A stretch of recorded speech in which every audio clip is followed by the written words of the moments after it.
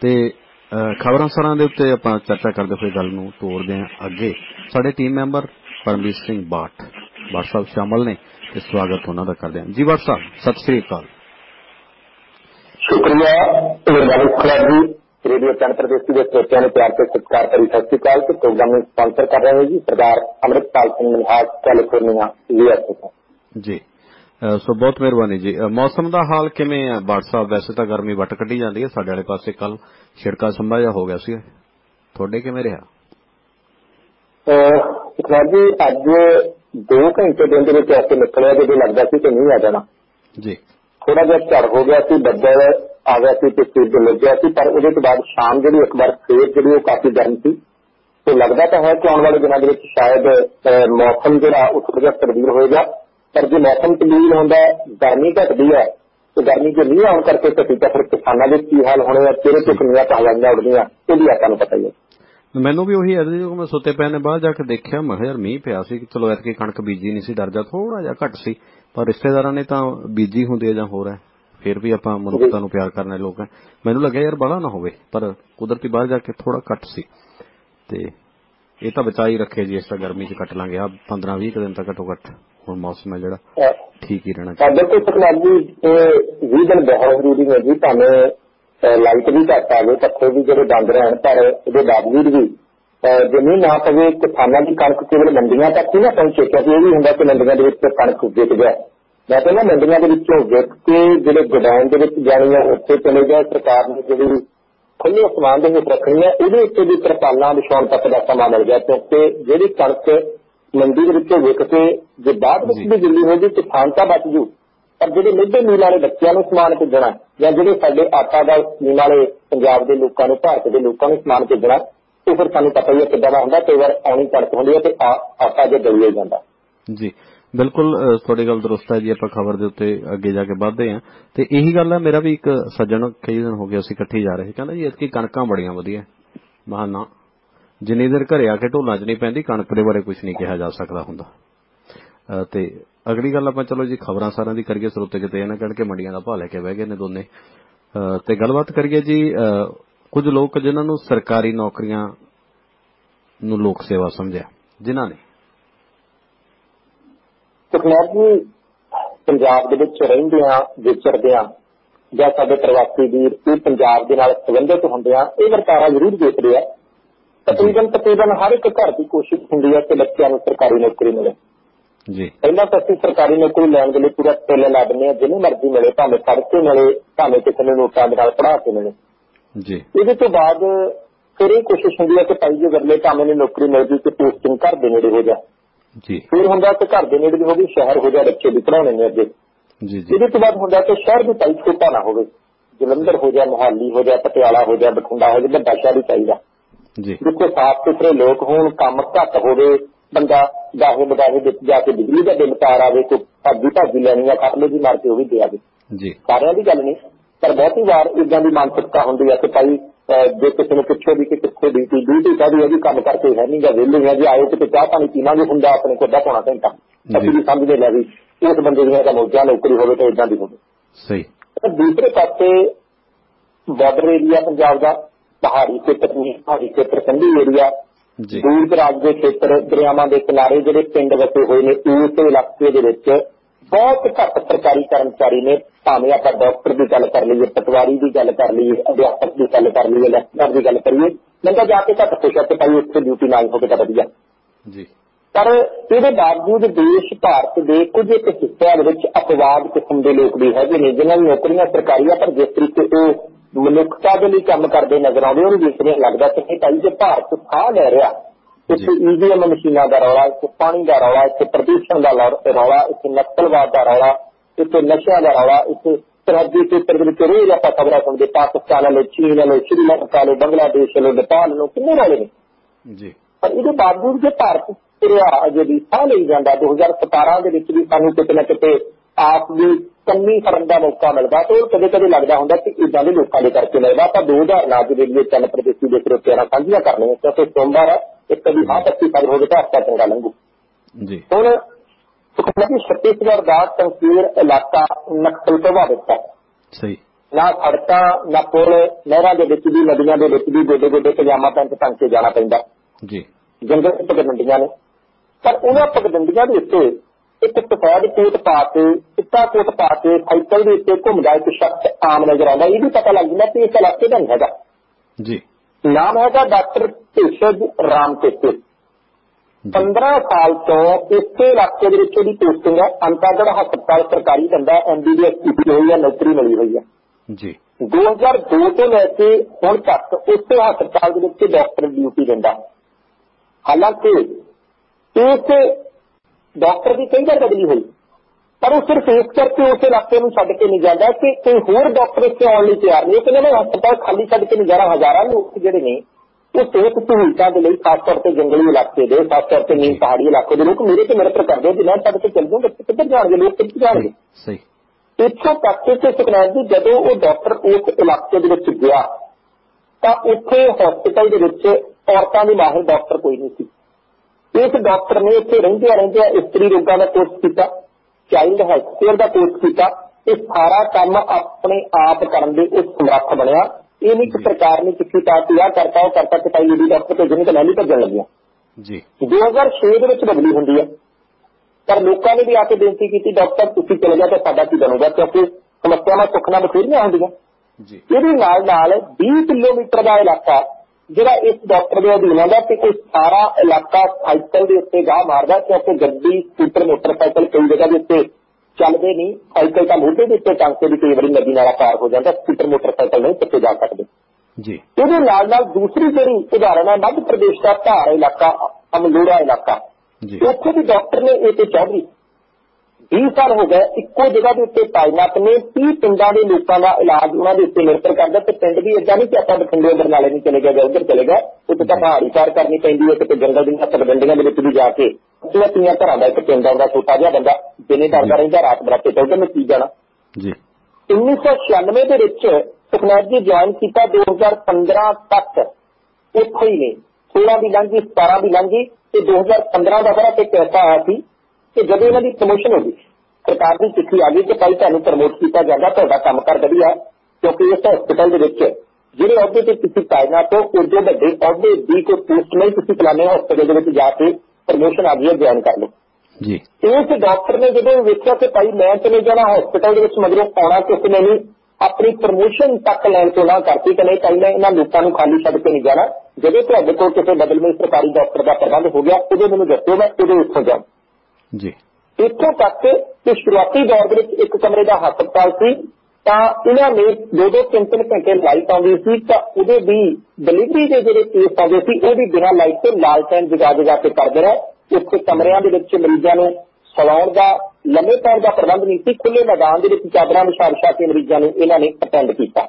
ਜੀ। ਸੋ ਇਹ ਦੋ ਧਾਰਨਾ ਜਿਹੜੀਆਂ ਇਹ ਕਿਤੇ ਨਾ ਕਿਤੇ ਦੱਸਦੀਆਂ ਕਿ ਜੇ ਕੋਈ ਸਰਕਾਰੀ ਕਰਮਚਾਰੀ ਅਜੇ ਤੱਕ ਵੀ ਇਹ ਮਾਨਸਿਕਤਾ ਲੈ ਕੇ ਬੈਠਾ ਕਿ ਭਾਈ ਹੁਣ ਤਾਂ ਸਰਕਾਰੀ ਨੌਕਰੀ ਮਿਲ ਗਈ ਹੈ ਹੁਣ 60 55 ਸਾਲ ਤੱਕ ਸਾਨੂੰ ਕੋਈ ਪੁੱਛਣ ਗਿੱਛਣ ਦੀ ਲੋੜ ਨਹੀਂ ਨਾ ਕਿਸੇ ਨੇ ਪੁੱਛਣਾ ਆਪਣਾ ਕੰਮ ਕਰਾਂਗੇ ਵਧੀਆ ਖਾਣਾ ਪੀਵਾਂਗੇ ਮੁੜ ਕੇ ਪੈਨਸ਼ਨ ਲੱਗ ਜਾਣੀ ਪਰ ਫਿਰ ਵੀ ਜਿਸ ਤਰੀਕੇ ਇਹਨਾਂ ਦੋ ਸਰਕਾਰੀ ਡਾਕਟਰਾਂ ਨੇ ਉਸ ਦੂਰ ਦਰਾਜ ਦੇ ਇਲਾਕੇ ਦੇ ਵਿੱਚ ਜਾ ਕੇ ਲੋਕਾਂ ਦੀ ਸੇਵਾ ਕਰਨ ਦਾ ਮਨ ਬਣਾਇਆ ਹੋਇਆ ਜੇ ਕਿਤੇ ਸੁਖਨਾਥ ਜੀ ਇਦਾਂ ਦਾ ਕੰਮ ਪੰਜਾਬ 'ਚ ਅੱਜ ਦੇ ਤਾਂ ਫਿਰ ਨਾ ਬਾਰਡਰ ਏਰੀਆ ਦੇ ਵਿੱਚ ਸਾਨੂੰ ਕਦੇ ਖਬਰਾਂ ਪੜ੍ਹਨ ਨੂੰ ਮਿਲਣ ਕਿ ਭਾਈ ਫਲਾਣੇ ਪਿੰਡ ਦਾ ਸਕੂਲ ਇਸ ਕਰਕੇ ਬੰਦ ਪਿਆ ਕਿਤੇ ਅਧਿਆਪਕ ਉੱਧਰ ਜਾ ਕੇ ਰਾਜੀ ਨਹੀਂ। ਜੀ। ਤਾਂ ਇਦਾਂ ਦੀਆਂ ਖਬਰਾਂ ਸਾਹਮਣੇ ਆਉਣ ਤੇ ਕੰਢੀ ਏਰੀਆ ਦੇ ਵਿੱਚ ਕੋਈ ਐਸਾ ਹਸਪਤਾਲ ਕੋਈ ਐਸੀ ਸਰਕਾਰੀ ਡਿਸਪੈਂਸਰੀ ਵੀ ਹੈਗੀ ਹੈ ਕਿ ਉੱਥੇ ਕੋਈ ਸਰਕਾਰੀ ਡਾਕਟਰ ਜਾ ਕੇ ਜਾਣ ਨੂੰ ਤਿਆਰ ਨਹੀਂ ਸਾਰੇ ਮੁਹਾਲੀ ਜਾਣ ਨੂੰ ਤਿਆਰ ਨੇ ਜਲੰਧਰ ਲੁਧਿਆਣੇ ਜਾਣ ਨੂੰ ਤਿਆਰ ਨੇ ਬਠਿੰਡੇ ਦਾ ਵੀ ਦਰਮਾ ਪਾਵਾਂਗਾ ਕੋਈ ਹੈਗਾ। ਜੀ। ਹੁਣ ਇੱਥੋਂ ਤੱਕ ਵੀ ਅੰਕੜੇ ਆਪਾਂ ਡਾਕਟਰਾਂ ਦੀ ਗੱਲ ਕੀਤੀ ਹੈ ਕਿ ਸਾਹਮਣੇ ਆਏ ਕਿ ਭਾਰਤ ਦੇ ਪਿੰਡਾਂ ਦੇ ਵਿੱਚ 72% ਕੁੱਲ ਆਬਾਦੀ ਦਾ ਹਿੱਸਾ। ਜੀ। ਪਰ ਉਹਨਾਂ ਭਾਰਤ ਦੇ 72% ਲੋਕਾਂ ਦਾ ਇਲਾਜ ਕਰਨ ਦੇ ਲਈ ਕੁੱਲ ਸਰਕਾਰੀ ਡਾਕਟਰਾਂ ਤੋਂ ਕੇਵਲ 38% ਤਾਇਨਾਤ ਆ। ਜੀ। ਬਾਕੀ ਕੋਈ ਨਾ ਕੋਈ ਜੱਟ ਲਾ ਕੇ ਸ਼ਹਿਰਾਂ ਦੇ ਵਿੱਚ ਚਲੇ ਜਾਂਦੇ ਆ। ਖਾਸ ਤੌਰ ਦੇ ਉੱਤੇ ਸਿਆਸਤਦਾਨਾਂ ਦੀਆਂ ਰਿਸ਼ਤੇਦਾਰ ਬੀਬੀਆਂ ਜਿਹੜੀਆਂ ਇਸ ਫੀਲਡ ਦੇ ਵਿੱਚ ਹੁੰਦੀਆਂ ਉਹਨਾਂ ਦੇ ਵਿੱਚ ਬਹੁਤੀਆਂ ਮਹਾਲੀ ਨੇ ਜੇ ਕਿਸੇ ਦਾ ਨਹੀਂ ਨਾਲ ਬਣਾ ਲੱਗਦਾ ਉਸ ਨਹੀਂ ਕਾਲੀ ਡੈਪੂਟੇਸ਼ਨ ਚੰਡੀਗੜ੍ਹ ਭੇਜਦੇ ਸਹੀ। ਉਹ ਕਿਤੇ ਨਾ ਕਿਤੇ ਸਰਕਾਰੀ ਨੌਕਰੀ ਕਰਦੇ ਆ ਲੋਕ ਸੇਵਾ ਦੇ ਵਿੱਚ ਪੈਰ ਰੱਖਣ ਵਾਲੇ ਇਹਨਾਂ ਲੋਕਾਂ ਦਾ ਜ਼ਿਕਰ ਜਿਹੜਾ ਉਹ ਹੋਣਾ ਜ਼ਰੂਰ ਚਾਹੀਦਾ ਕਿ ਜੇ ਇਸ ਤਰੀਕੇ ਦਾ ਵਰਤਾਰਾ ਸਾਰੇ ਕਰਨ ਲੱਗ ਜਾਣ ਜਾਂ ਬਹੁਤੇ ਕਰਨ ਲੱਗ ਜਾਣ ਤਾਂ ਫਿਰ ਕਿਤੇ ਨਾ ਕਿਤੇ ਤਸਵੀਰ ਟੈਕਨੋਲੋਜੀ ਬਦਲ ਸਕਦੀ ਹੈ। ਜੀ। ਗੱਲ ਤਾਂ ਇਹ ਹੈ ਕਿ ਤਸਵੀਰ ਤਾਂ ਬਦਲਣੀ ਚਾਹੀਦੀ ਹੈ। ਔਰ ਰਹੀ ਗੱਲ ਇਹ ਜੀ ਕਿ ਤਸਵੀਰ ਦਾ ਦੂਜਾ ਪਾਸਾ ਦੇਖੀਏ ਤਾਂ ਜਸਦਾ ਟੋੜਾ ਸਾਹਿਬ ਦੀ ਬਰਸੀ ਮਨਾਈ ਗਈ। ਵੱਖ-ਵੱਖ ਸਮਾਗਮ ਹੋਏ। ਆਮ ਆਦਮੀ ਪਾਰਟੀ ਵਾਲੇ ਤੇ ਕਾਂਗਰਸੀ ਇੱਕੋ ਸਟੇਜ ਤੇ ਬੈਠੇ ਰਹੇ ਤੇ ਅਕਾਲੀ ਆਪਦੀ ਥਾਂ ਜੀ ਅੱਡ ਬਣਾ ਕੇ ਬਹਿ ਗਏ। ਖੈਰ ਜੀ, ਕਈ ਵਾਰ ਮਜਬੂਰੀ ਦੇ ਵਿੱਚ ਵੀ ਤੁਹਾਨੂੰ ਕਈ ਜਗ੍ਹਾ ਤੇ ਜਾਣਾ ਪੈਂਦਾ, ਜਿਵੇਂ ਪੰਜਾਬ 'ਚ ਸੋਚ ਪ੍ਰਗਟ ਕਰਨ ਵਾਲਿਆਂ ਦੀ ਗੱਲ ਹੁੰਦੀ ਹੈ ਕਿ ਨਹੀਂ ਰੱਖਣਾ ਜੀ ਜਾਏ ਨਹੀਂ ਆ ਜਾਇਆ ਜੀ, ਤੁਸੀਂ 10 ਮਿੰਟ ਘਰ ਦੇ ਵਿੱਚ ਇੱਕ ਬੰਦਾ ਤਾਂ ਜਾਣਾ ਹੀ ਚਾਹੀਦਾ, ਜਾਂ ਫਿਰ ਚਾਰ ਗੱਲਾਂ ਹੀ ਕਰਨੀਆਂ। ਉਸੇ ਤਰੀਕੇ ਅਕਾਲੀ ਦਲ ਨੇ ਤਾਂ ਐਡਕੀ ਨੂੰ ਕੇ ਰੱਖਿਆ। ਉਹਨਾਂ ਦੇ ਲਈ ਸਿਆਸੀ ਤੌਰ ਤੇ ਮਜਬੂਰੀ ਬਣ ਗਈ ਸੀ ਜਦੋਂ ਮੈਦਾਨ ਖਾਲੀ ਛੱਡ ਦਿੰਦੇ ਕਰਤਾਨ ਸਾਹਿਬ ਦਾ ਆਪੇ ਕਬੱਡੀਆਂ ਪਾਉਣ ਨੂੰ ਸਿਆਸੀ ਤੌਰ ਤੇ ਤਿਆਰੀ ਬੈਠੇ ਜੀ। ਹੁਣ ਜਥੇਦਾਰ ਗੁਰਚਰਨ ਸਿੰਘ ਟੌੜਾ ਸਾਹਿਬ ਬਹੁਤ ਲੰਬਾ ਸਮਾਂ ਸ਼੍ਰੋਮਣੀ ਗੁਰਦੁਆਰਾ ਪ੍ਰਬੰਧਕ ਕਮੇਟੀ ਦੇ ਪ੍ਰਧਾਨ ਰਹੇ ਐਸਜੀਪੀਸੀ ਦੇ ਬਹੁਤ ਸਾਰੇ ਕਰਮਚਾਰੀ ਉਹਨਾਂ ਦੇ ਵੇਲਿਆਂ ਦੇ ਭਰਤੀ ਕੀਤੇ ਹੋਏ ਨੇ। ਅਜੇ ਤੱਕ ਵੀ ਇਹਨਾਂ ਦਾ ਜਿਹੜਾ ਕੱਟ ਹੈ ਉਹ ਪੂਰੇ ਪੰਜਾਬ 'ਚ ਹੈਗਾ ਉਹ ਵੱਖਰੀ ਗੱਲ ਹੈ ਕਿ ਖਿੰਡਿਆ ਖੁੰਡਿਆ ਪਿਆ। ਜੀ। ਟੌੜਾ ਸਾਹਿਬ ਤੋਂ ਬਾਅਦ ਭਾਵੇਂ ਸੁਖਦੇਵ ਸਿੰਘ ਧੌਰ ਨੇ ਭਾਵੇਂ ਪ੍ਰੋਫੈਸਰ ਪ੍ਰੇਮ ਸਿੰਘ ਚੰਦੂ ਮਾਜਰਾ ਨੇ ਭਾਵੇਂ ਪੰਜੌਲੀ ਸਾਹਿਬ ਨੇ ਜਾਂ ਪੰਥਕ ਨਾਮ ਆਪਾਂ ਹੋਰ ਗਿਣ ਸਕਦੇ ਹਾਂ ਜਿਹੜੇ ਕਿ ਟੌੜਾ ਸਾਹਿਬ ਦੇ ਅੱਗੇ ਪੂਰੇ ਹੋ ਬੰਦੇ ਨੇ ਉਹਨਾਂ ਦੇ ਨਾਲ ਉਹਨਾਂ ਨੇ ਬਹੁਤ ਲੰਬਾ ਸਮਾਂ ਗੁਜ਼ਾਰਿਆ ਉਹ ਜੀ। ਇਸ ਤਰੀਕੇ ਦਾ ਪ੍ਰਭਾਵ ਨਹੀਂ ਦੇ ਸਕੇ ਕਿ ਉਹ ਟੌੜਾ ਸਾਹਿਬ ਤੋਂ ਬਾਅਦ ਉਹਨਾਂ ਦੇ ਸਮਰਥਕਾਂ ਨੂੰ ਕਿਸੇ ਇੱਕ ਪਲੇਟਫਾਰਮ ਤੇ ਇਕੱਠੇ ਕਰ ਸਕਣ। ਤੇ ਹੁਣ ਉਹ ਖਿੰਡਿਆ ਪੁੰਡਿਆ ਜਿਹੜਾ ਕਾਦਰ ਹੈ ਉਹ ਕਿਹੜੀ ਝੁੰਡ ਵਿੱਚ ਜਾ ਕੇ ਪੈਣਾ ਇਸੇ ਪ੍ਰਕਿਰਿਆ ਦੇ ਵਿੱਚ ਆ ਜਿਹੜੀ ਜਥੇਦਾਰ ਟੌੜਾ ਸਾਹਿਬ ਦੀ ਬਰਸੀ ਹੈ ਉਹ ਵੱਖ-ਵੱਖ ਥਾਵਾਂ ਦੇ ਉੱਤੇ ਮਨਾਈ ਗਈ। ਕਰਨੈਲ ਸਿੰਘ ਪੰਜਾਬੀ ਹੋਰਾਂ ਨੇ ਆਪਣੇ ਪਿੰਡ 'ਚ ਸਮਾਗਮ ਕੀਤਾ। ਟੌੜਾ ਸਾਹਿਬ ਦੇ ਪਰਿਵਾਰ ਨੇ ਉਹਨਾਂ ਦੀ ਬੇਟੀ ਕੁਲਦੀਪ ਕੌਰ ਟੌੜਾ ਤੇ ਜਵਾਈ ਹਰਮੇਲ ਸਿੰਘ ਟੌੜਾ ਨੇ ਉਹਨਾਂ ਦੇ ਜੱਦੀ ਘਰ ਟੌੜਾ ਪਿੰਡ ਵਿੱਚ ਸ਼੍ਰੀ ਅਖੰਡ ਸਾਹਿਬ ਰਖਾਇਆ ਹੋਇਆ ਹੈ। ਜੀ। ਇਹਦੇ ਤੋਂ ਇਲਾਵਾ ਦੋ ਸਮਾਗਮ ਜਿਨ੍ਹਾਂ ਦਾ ਤੁਸੀਂ ਜ਼ਿਕਰ ਕੀਤਾ ਜਿੱਧਰਲੇ ਪਾਸੇ ਨੂੰ ਸੰਕੇਤ ਦਿੱਤਾ। ਜੀ। ਇੱਕ ਸਮਾਗਮ ਉਹਨਾਂ ਦੀ ਬਰਸੀ ਤੋਂ 6 ਦਿਨ ਪਹਿਲਾਂ ਅਨਾਉਂਸ ਕੀਤਾ ਸੀ ਕੈਪਟਨ ਅਮਰਿੰਦਰ ਸਿੰਘ ਹੋਰਾਂ ਨੇ ਕਿ ਅਸੀਂ ਸੂਬਾ ਪੱਧਰ ਦੇ ਉੱਤੇ ਸਰਕਾਰੀ ਸਮਾਗਮ ਚੌੜਾ ਪਿੰਡ ਦੇ ਵਿੱਚ ਮਨਾਵਾਂਗੇ। ਜੀ। ਇਹ ਸਮਾਗਮ ਸੀ ਜਿੱਥੇ ਲੋਕਾਂ ਦੀ ਗਿਣਤੀ ਵੀ ਕਾਫੀ ਸੀ ਜਿੱਥੇ ਚੌੜਾ ਸਾਹਿਬ ਦਾ ਪਰਿਵਾਰ ਵੀ ਆਪਣੇ ਘਰ ਦੇ ਅਖੰਡ ਪਾਠ ਸਾਹਿਬ ਤੋਂ ਮੁਕੰਮਲ ਕਰਨ ਉਪਰੰਤ ਵਿਹਲਾ ਹੋ ਕੇ ਪਹੁੰਚਿਆ। ਇਸੇ ਸਮਾਗਮ ਦੇ ਵਿੱਚ advocate H S Phoolka Sahib ਵੀ ਪੁੱਜੇ। ਇਸੇ ਸਮਾਗਮ ਦੇ ਵਿੱਚ ਹੋਰ ਬਹੁਤ ਸਾਰੀਆਂ ਸ਼ਖਸੀਅਤਾਂ ਜਿਨ੍ਹਾਂ ਦਾ ਜ਼ਿਕਰ ਆਪਾਂ ਅੱਗੇ ਜਾ ਕੇ ਕਰਨਾ ਉਹ ਵੀ ਆਈਆਂ। ਜੀ। ਇਹਦੇ ਤੋਂ ਇਲਾਵਾ ਬਹਾਦਰਗੜ੍ਹ ਪਿੰਡ ਦੇ ਵਿੱਚ ਸ਼੍ਰੋਮਣੀ ਅਕਾਲੀ ਦਲ ਨੇ ਵੀ ਆਪਣਾ ਸਮਾਗਮ ਕੀਤਾ ਸੁਖਬੀਰ ਸਿੰਘ ਬਾਦਲ ਉੱਥੇ ਪਹੁੰਚੇ। ਸੁਖਬੀਰ ਸਿੰਘ ਬਾਦਲ ਦਾ ਭਾਸ਼ਣ ਬੜਾ ਇੰਟਰਸਟਿੰਗ ਸੀ ਬੜਾ ਗੌਰ ਦੇ ਨਾਲ ਵੇਖਣ ਸੁਣਨ ਵਾਚਣ ਵਾਲਾ। ਜੀ। ਸੁਖਬੀਰ ਸਿੰਘ ਬਾਦਲ ਹੋਰਾਂ ਨੇ ਉੱਥੇ ਅਕਾਲੀ ਦਲ ਦੇ ਜਿਹੜੇ ਵਰਕਰ ਇਕੱਠੇ ਹੋਏ ਸੀ ਇਹ ਵੱਖਰੀ ਗੱਲ ਹੈ ਕਿ ਪਹਿਲਾਂ ਵਰਗਾ ਜੋਸ਼ ਨਹੀਂ ਸੀ ਪਹਿਲਾਂ ਵਰਗਾ ਉਤਸ਼ਾਹ ਨਹੀਂ ਸੀ ਅਕਾਲੀ ਦਲ ਦੇ ਵਰਕਰਾਂ 'ਚ ਉਹਦਾ ਜਕਾਰੇ ਨਹੀਂ ਛੱਡੇਗਾ ਸੁਖਬੀਰ ਸਿੰਘ ਬਾਦਲ ਦੇ ਪੰਜਾਂ ਮਿੰਟਾਂ ਦੇ ਭਾਸ਼ਣ 'ਚ 15 ਜੀ। ਹੁਣ ਉਹਨਾਂ ਨੇ ਕਿਹਾ ਕਹਿੰਦੇ ਵੀ ਚੌੜਾ ਸਾਹਿਬ ਨੇ ਬੜੀਆਂ ਕੁਰਬਾਨੀਆਂ ਕੀਤੀਆਂ ਅਕਾਲੀ ਦਲ ਦੇ ਲਈ ਜਿੰਨਾ ਕੰਮ ਉਹਨਾਂ ਨੇ ਕੀਤਾ ਕਿਸੇ ਨੇ ਕੀਤਾ ਨਹੀਂ ਹੋਣਾ ਤੇ ਚੌੜਾ ਸਾਹਿਬ ਵਰਗੀਆਂ ਕੁਰਬਾਨੀਆਂ ਦੀ ਅੱਜ ਅਕਾਲੀ ਦਲ ਦੇ ਵਰਕਰਾਂ ਦੇ ਵਿੱਚ ਘਾਟ ਹੈ। ਜੀ। ਹੁਣ ਗੱਲ ਤਾਂ ਉਹਨਾਂ ਨੇ ਕਰਤੀ ਕਿ ਉਦਾਂ ਦੀ ਕੁਰਬਾਨੀ ਚਾਹੀਦੀ ਹੈ ਪਰ ਵਿਚਰ ਚਾਲੇ ਹੋ ਸਕਦਾ ਕਿ ਉਸ ਬਹਾਦਰਗੜ੍ਹ ਦੇ ਗੁਰੂ ਘਰ ਦੇ ਹਾਲ ਦੇ ਵਿੱਚ ਬੈਠੇ ਅਕਾਲੀ ਦਲ ਦੇ ਬਹੁਤੇ ਵਰਕਰ ਇਹ ਵੀ ਸੋਚਦੇ ਹੋਣ ਕਿ ਜੇ ਚੌੜਾ ਸਾਹਿਬ ਨੇ ਇੰਨੀਆਂ ਕੁਰਬਾਨੀਆਂ ਕੀਤੀਆਂ ਸੀ ਭਾਈ ਉਹਨਾਂ ਨੂੰ ਸਰਬ ਹੁੰਦਾ ਅਕਾਲੀ ਦਲ ਕਿਉਂ ਬਣਾਉਣਾ ਪਿਆ? ਜੇ ਚੌੜਾ ਸਾਹਿਬ ਨੇ ਇੰਨੀਆਂ ਕੁਰਬਾਨੀਆਂ ਕੀਤੀਆਂ ਸੀ, ਤਾਂ ਤੁਹਾਡਾ ਸਾਰਾ ਹੀ ਟੱਬਰ ਆਸ-ਪਾਸ ਦੇ ਦੂਜੇ, ਤੀਜੇ, ਚੌਥੇ ਥਾਂ ਦੇ ਰਿਸ਼ਤੇਦਾਰ ਵੀ ਸਿਆਸਤ ਦੇ ਵਿੱਚ ਨੇ, ਕੋਈ ਐਮਐਲਏ ਵੀ ਹੈ, ਕੋਈ ਕੈਬਨਿਟ ਮੰਤਰੀ, ਕੋਈ ਐਮਪੀ ਤਾਂ ਚੌੜਾ ਸਾਹਿਬ ਦਾ ਕੋਈ ਰਿਸ਼ਤੇਦਾਰ ਐਸੀ ਅਕਾਲੀ ਦਲ ਦੇ ਵਿੱਚ ਪਿੱਛੇ ਕਿਉਂ ਨਹੀਂ ਲੜਿਆ? ਉਹਨਾਂ ਨੂੰ ਕਿਉਂ ਕਿਉਂ ਨਹੀਂ ਲੜਨ ਦਿੱਤੀ? ਚਲੋ ਸੁਖਵੀਰ ਸਿੰਘ ਬਾਦਲ ਹੋਰਾਂ ਨੇ ਆਪਣੀ ਗੱਲ ਕਰਨੀ ਸੀ, ਕਰ ਦਿੱਤੀ। ਪਰ ਕੁੱਲ ਮਿਲਾ ਕੇ ਸ਼੍ਰੋਮਣੀ ਅਕਾਲੀ ਦਲ ਹਾਜ਼ਰੀ ਲਵਾਉਣ ਦੇ ਵਿੱਚ ਤਾਂ ਕਾਮਯਾਬ ਰਿਹਾ। ਪਰ ਚੌੜਾ ਸਾਹਿਬ ਦੇ ਪਰਿਵਾਰ ਦੇ ਵਿੱਚੋਂ ਜਾਂ ਚੰਦੂ ਮਾਜਰਾ ਸਾਹਿਬ ਨੂੰ ਛੱਡ ਕੇ ਉਹਨਾਂ ਦੇ ਸਮਰਥਕਾਂ ਦੇ ਵਿੱਚੋਂ ਕੋਈ ਵੀ ਵੱਡਾ ਲੀਡਰ ਸ਼੍ਰੋਮਣੀ ਅਕਾਲੀ ਦਲ ਬਾਦਲ ਦੇ ਇਸ ਸਮਾਗਮ ਦੇ ਵਿੱਚ ਹਾਜ਼ਰ ਨਹੀਂ ਸੀ। ਜੀ। ਹੁਣ ਗੱਲ ਕਰਦੇ ਹਾਂ ਸਰਕਾਰੀ ਸਮਾਗਮ ਦੀ। ਸਰਕਾਰੀ ਸਮਾਗਮ ਦੇ ਵਿੱਚ ਸਾਧੂ ਸਿੰਘ ਧਰਮਸੋਤ ਉਹ ਕੈਪਟਨ ਅਮਰਿੰਦਰ ਸਿੰਘ ਦੇ ਤੇ ਪੰਜਾਬ ਸਰਕਾਰ ਦੇ ਪ੍ਰਤੀਨਿਧ ਦੇ ਰੂਪ ਦੇ ਵਿੱਚ ਉੱਥੇ ਪਹੁੰਚੇ। ਜੀ। ਇਸ ਤੋਂ ਉਹਨੇ ਸਖਤ ਦਾ ਐਲਾਨ ਕਰਤਾ ਕਹਿੰਦੇ ਆ ਜਿਹੜੀ ਸੜਕ ਚੌੜਾ ਪਿੰਡ ਨੂੰ ਜਾਂਦੀ ਹੈ ਚੌੜੀ ਵੀ ਕਰਾਂਗੇ ਜਥੇਦਾਰ ਚੌੜਾ ਹੋਰਾਂ ਦੇ ਨਾਮ ਤੇ ਇਹਦਾ ਨਾਮ ਵੀ ਰੱਖਾਂਗੇ। ਇਹਨਾਂ ਤੋਂ ਪਹਿਲਾਂ ਜਿਹੜੇ ਬੁਲਾਰੇ ਬੋਲੇ ਸੀ ਉਹਨਾਂ ਦੇ ਵਿੱਚੋਂ ਦੋ ਕੁ ਬੰਦਿਆਂ ਨੇ ਜ਼ਿਕਰ ਕਰ ਦਿੱਤਾ ਕਹਿੰਦੇ ਕਿ ਪੰਜਾਬੀ ਯੂਨੀਵਰਸਿਟੀ ਪਟਿਆਲੇ ਦਾ ਨਾਮ ਜੇ ਚੌੜਾ ਸਾਹਿਬ ਦੇ ਨਾਂ ਤੇ ਰੱਖ ਤੇ ਫੇਰ ਬੱਲੇ ਬੱਲੇ ਆ। ਜੀ। ਧਰਮਸੋਤ ਸਾਹਿਬ ਕਹਿੰਦੇ ਮੈਂ ਕੈਪਟਨ ਅਮਰਿੰਦਰ ਸਿੰਘ ਦੇ ਨਾਲ ਗੱਲ ਕਰੂੰਗਾ ਹਾਲਾਂਕਿ ਇਹ ਵਿਸ਼ਾ ਬਹੁਤ ਸੋਚਣ ਵਿਚਾਰਨ ਵਾਲਾ ਕਿਉਂਕਿ ਪੰਜਾਬੀ ਯੂਨੀਵਰਸਿਟੀ ਪਟਿਆਲਾ ਦਾ ਮਤਲਬ ਕਿ ਭਾਸ਼ਾ ਦੇ ਆਧਾਰ ਦੇ ਉੱਤੇ ਬਣੀ ਹੋਈ ਯੂਨੀਵਰਸਿਟੀ। ਉਹਦਾ ਨਾਮ ਬਹੁਤ। ਵੱਡਾ ਜੀ। ਜੀ। ਤੇ ਮੰਗ ਕਰਨ ਵਾਲੇ ਬੰਦਿਆਂ ਨੇ ਕੀ ਸੋਚ ਕੇ ਗੱਲ ਕੀਤੀ ਹੈ ਜਾਂ ਕੀ ਨਹੀਂ ਕੀਤੀ? ਉਹਨਾਂ ਨੂੰ ਥੋੜਾ ਬਹੁਤ ਸੋਚਣਾ ਚਾਹੀਦਾ ਕਿਉਂਕਿ ਪੰਜਾਬੀ ਦੇ ਹਾਲ ਤਾਂ ਪਹਿਲੇ ਪੰਜਾਬ ਦੇ ਵਿੱਚ ਆਪਾਂ ਨੂੰ ਪਤਾ ਹੈ ਕਿ ਸਰਕਾਰੀ ਪੱਧਰ ਤੇ ਕੀ ਹੋ ਗਿਆ ਦੂਸਰੀ ਗੱਲ ਸੁਖਨਾਰ ਜੀ ਉੱਥੇ ਸਾਧੂ ਸਿੰਘ ਧਰਮਕੋਟ ਹੋਰਾਂ ਨੇ ਇਹ ਵੀ ਗੱਲ ਆਖ ਦਿੱਤੀ ਉਹ ਕਹਿੰਦੇ ਕਿ ਸ੍ਰੀ ਗੁਰੂ ਗ੍ਰੰਥ ਸਾਹਿਬ ਜੀ ਦੀ ਬੇਅਦਬੀ ਦੀਆਂ ਜਿਹੜੀਆਂ ਘਟਨਾਵਾਂ ਹੋਈਆਂ ਨੇ ਅਸੀਂ ਉਹਨਾਂ ਦੇ ਕਥਿਤ ਦੁਸ਼ਮਣਾਂ ਨੂੰ ਫੜਨਾ ਜ਼ਰੂਰ ਹੈ ਕਪਤਾਨ ਸਾਹਿਬ ਨੇ ਇਹ ਸੁਨੇਹਾ ਦੇਣ ਦੇ ਲਈ ਮੈਨੂੰ ਭੇਜਿਆ। ਇਹਦੇ ਨਾਲ ਨਾਲ ਉਹਨਾਂ ਨੇ ਵੀ ਕਿਹਾ ਕਿ ਤਾਰਾ ਸਾਹਿਬ ਦੇ ਬਹੁਤ ਚੰਗੇ ਸਿਧਾਂਤਾਂ ਦੇ ਉੱਤੇ ਰਹਿ ਕੇ ਰਾਜਨੀਤੀ ਕੀਤੀ ਉਹ ਸਿਧਾਂਤ ਭੁੱਲ ਗਿਆ ਅਕਾਲੀ ਇਸੇ ਕਰਕੇ ਹਾਰਿਆ ਬਾਕੀ ਗੱਲ ਨਹੀਂ ਸੀ। ਵਿਰੋਧੀ ਧਿਰ ਦੇ ਨੇਤਾ ਤੇ ਫੂਲਕਾ ਸਾਹਿਬ ਵੀ ਸਰਕਾਰੀ ਸਮਾਗਮ ਦੇ ਵਿੱਚ ਆਏ ਤੇ ਉਹਨਾਂ ਨੇ ਆਪਣੇ ਭਾਸ਼ਣ ਦੇ ਵਿੱਚ ਆਖਿਆ ਕਿ 1983 ਦੇ ਸਿੱਖ ਕਤਲੇਆਮ ਤੋਂ ਬਾਅਦ ਜਦੋਂ ਅਸੀਂ ਡਾਟਾ ਇਕੱਠਾ ਕਰਦੇ ਸੀ ਦਸਤਾਵੇਜ਼ ਇਕੱਠੇ ਕਰਦੇ ਸੀ ਅਸੀਂ ਲਿਸਟਾਂ ਬਣਾਉਂਦੇ ਸੀ ਪੀੜਤ ਪ੍ਰਭਾਵਿਤ ਲੋਕਾਂ ਦੀਆਂ ਤਾਂ ਜਥੇਦਾਰ ਗੁਰਚਰਨ ਸਿੰਘ ਟੌੜਾ ਹੋਰਾਂ ਦਾ ਯੋਗਦਾਨ ਕਹਿੰਦੇ ਇਤਿਹਾਸਕ ਸੀ ਉਹਨੂੰ ਮੈਂ ਭੁੱਲ ਨਹੀਂ ਸਕਦਾ। ਤੇ ਕਹਿੰਦੇ ਸੱਚੀ ਸ਼ਰਧਾਂਜਲੀ ਵੀ ਇਹੀ ਆ ਕਿ ਨਿੱਜੀ ਵਿਵਾਦਾਂ ਤੋਂ ਉਰੇ ਪਰੇ ਹੋ ਕੇ ਅਸੀਂ ਲੁਕਾਈ ਦੇ ਲਈ ਕੁਝ ਕੰਮ ਕਰੀਏ। ਭਾਈ ਰਣਜੀਤ ਸਿੰਘ ਜਿਹੜੇ ਸਾਬਕਾ ਜਥੇਦਾਰ ਨੇ ਅੱਜ ਦਿੱਲੀ ਦੀਆਂ ਚੋਣਾਂ ਵੀ ਲੜੇ, ਉਹਨਾਂ ਨੇ ਵੀ ਸ਼ਿਰਕਤ ਕੀਤੀ ਵੀਰ ਦਵਿੰਦਰ ਸਿੰਘ ਹੋਰੀ ਟਿਕਟ ਤੋਂ ਵਾਂਝੇ ਰਹੇ ਉਹਨਾਂ ਨੇ ਵੀ ਸ਼ਿਰਕਤ ਕੀਤੀ ਸੁਖਦੇਵ ਸਿੰਘ ਧੌਰ ਐਸਪੀਪੀਸੀ ਦੇ ਮੈਂਬਰ ਨੇ, ਸਾਰਾ ਸਾਹਿਬ ਦੇ ਬਹੁਤ ਵੱਡੇ ਸਮਰਥਕ ਤੇ ਹੁਣੇ ਹੁਣੇ ਆਮ ਆਦਮੀ ਪਾਰਟੀ 'ਚ ਸ਼ਾਮਲ ਹੋ ਗਿਆ ਸੀ ਬੰਗਿਆ ਉਹ ਵੀ ਉੱਥੇ ਆਏ।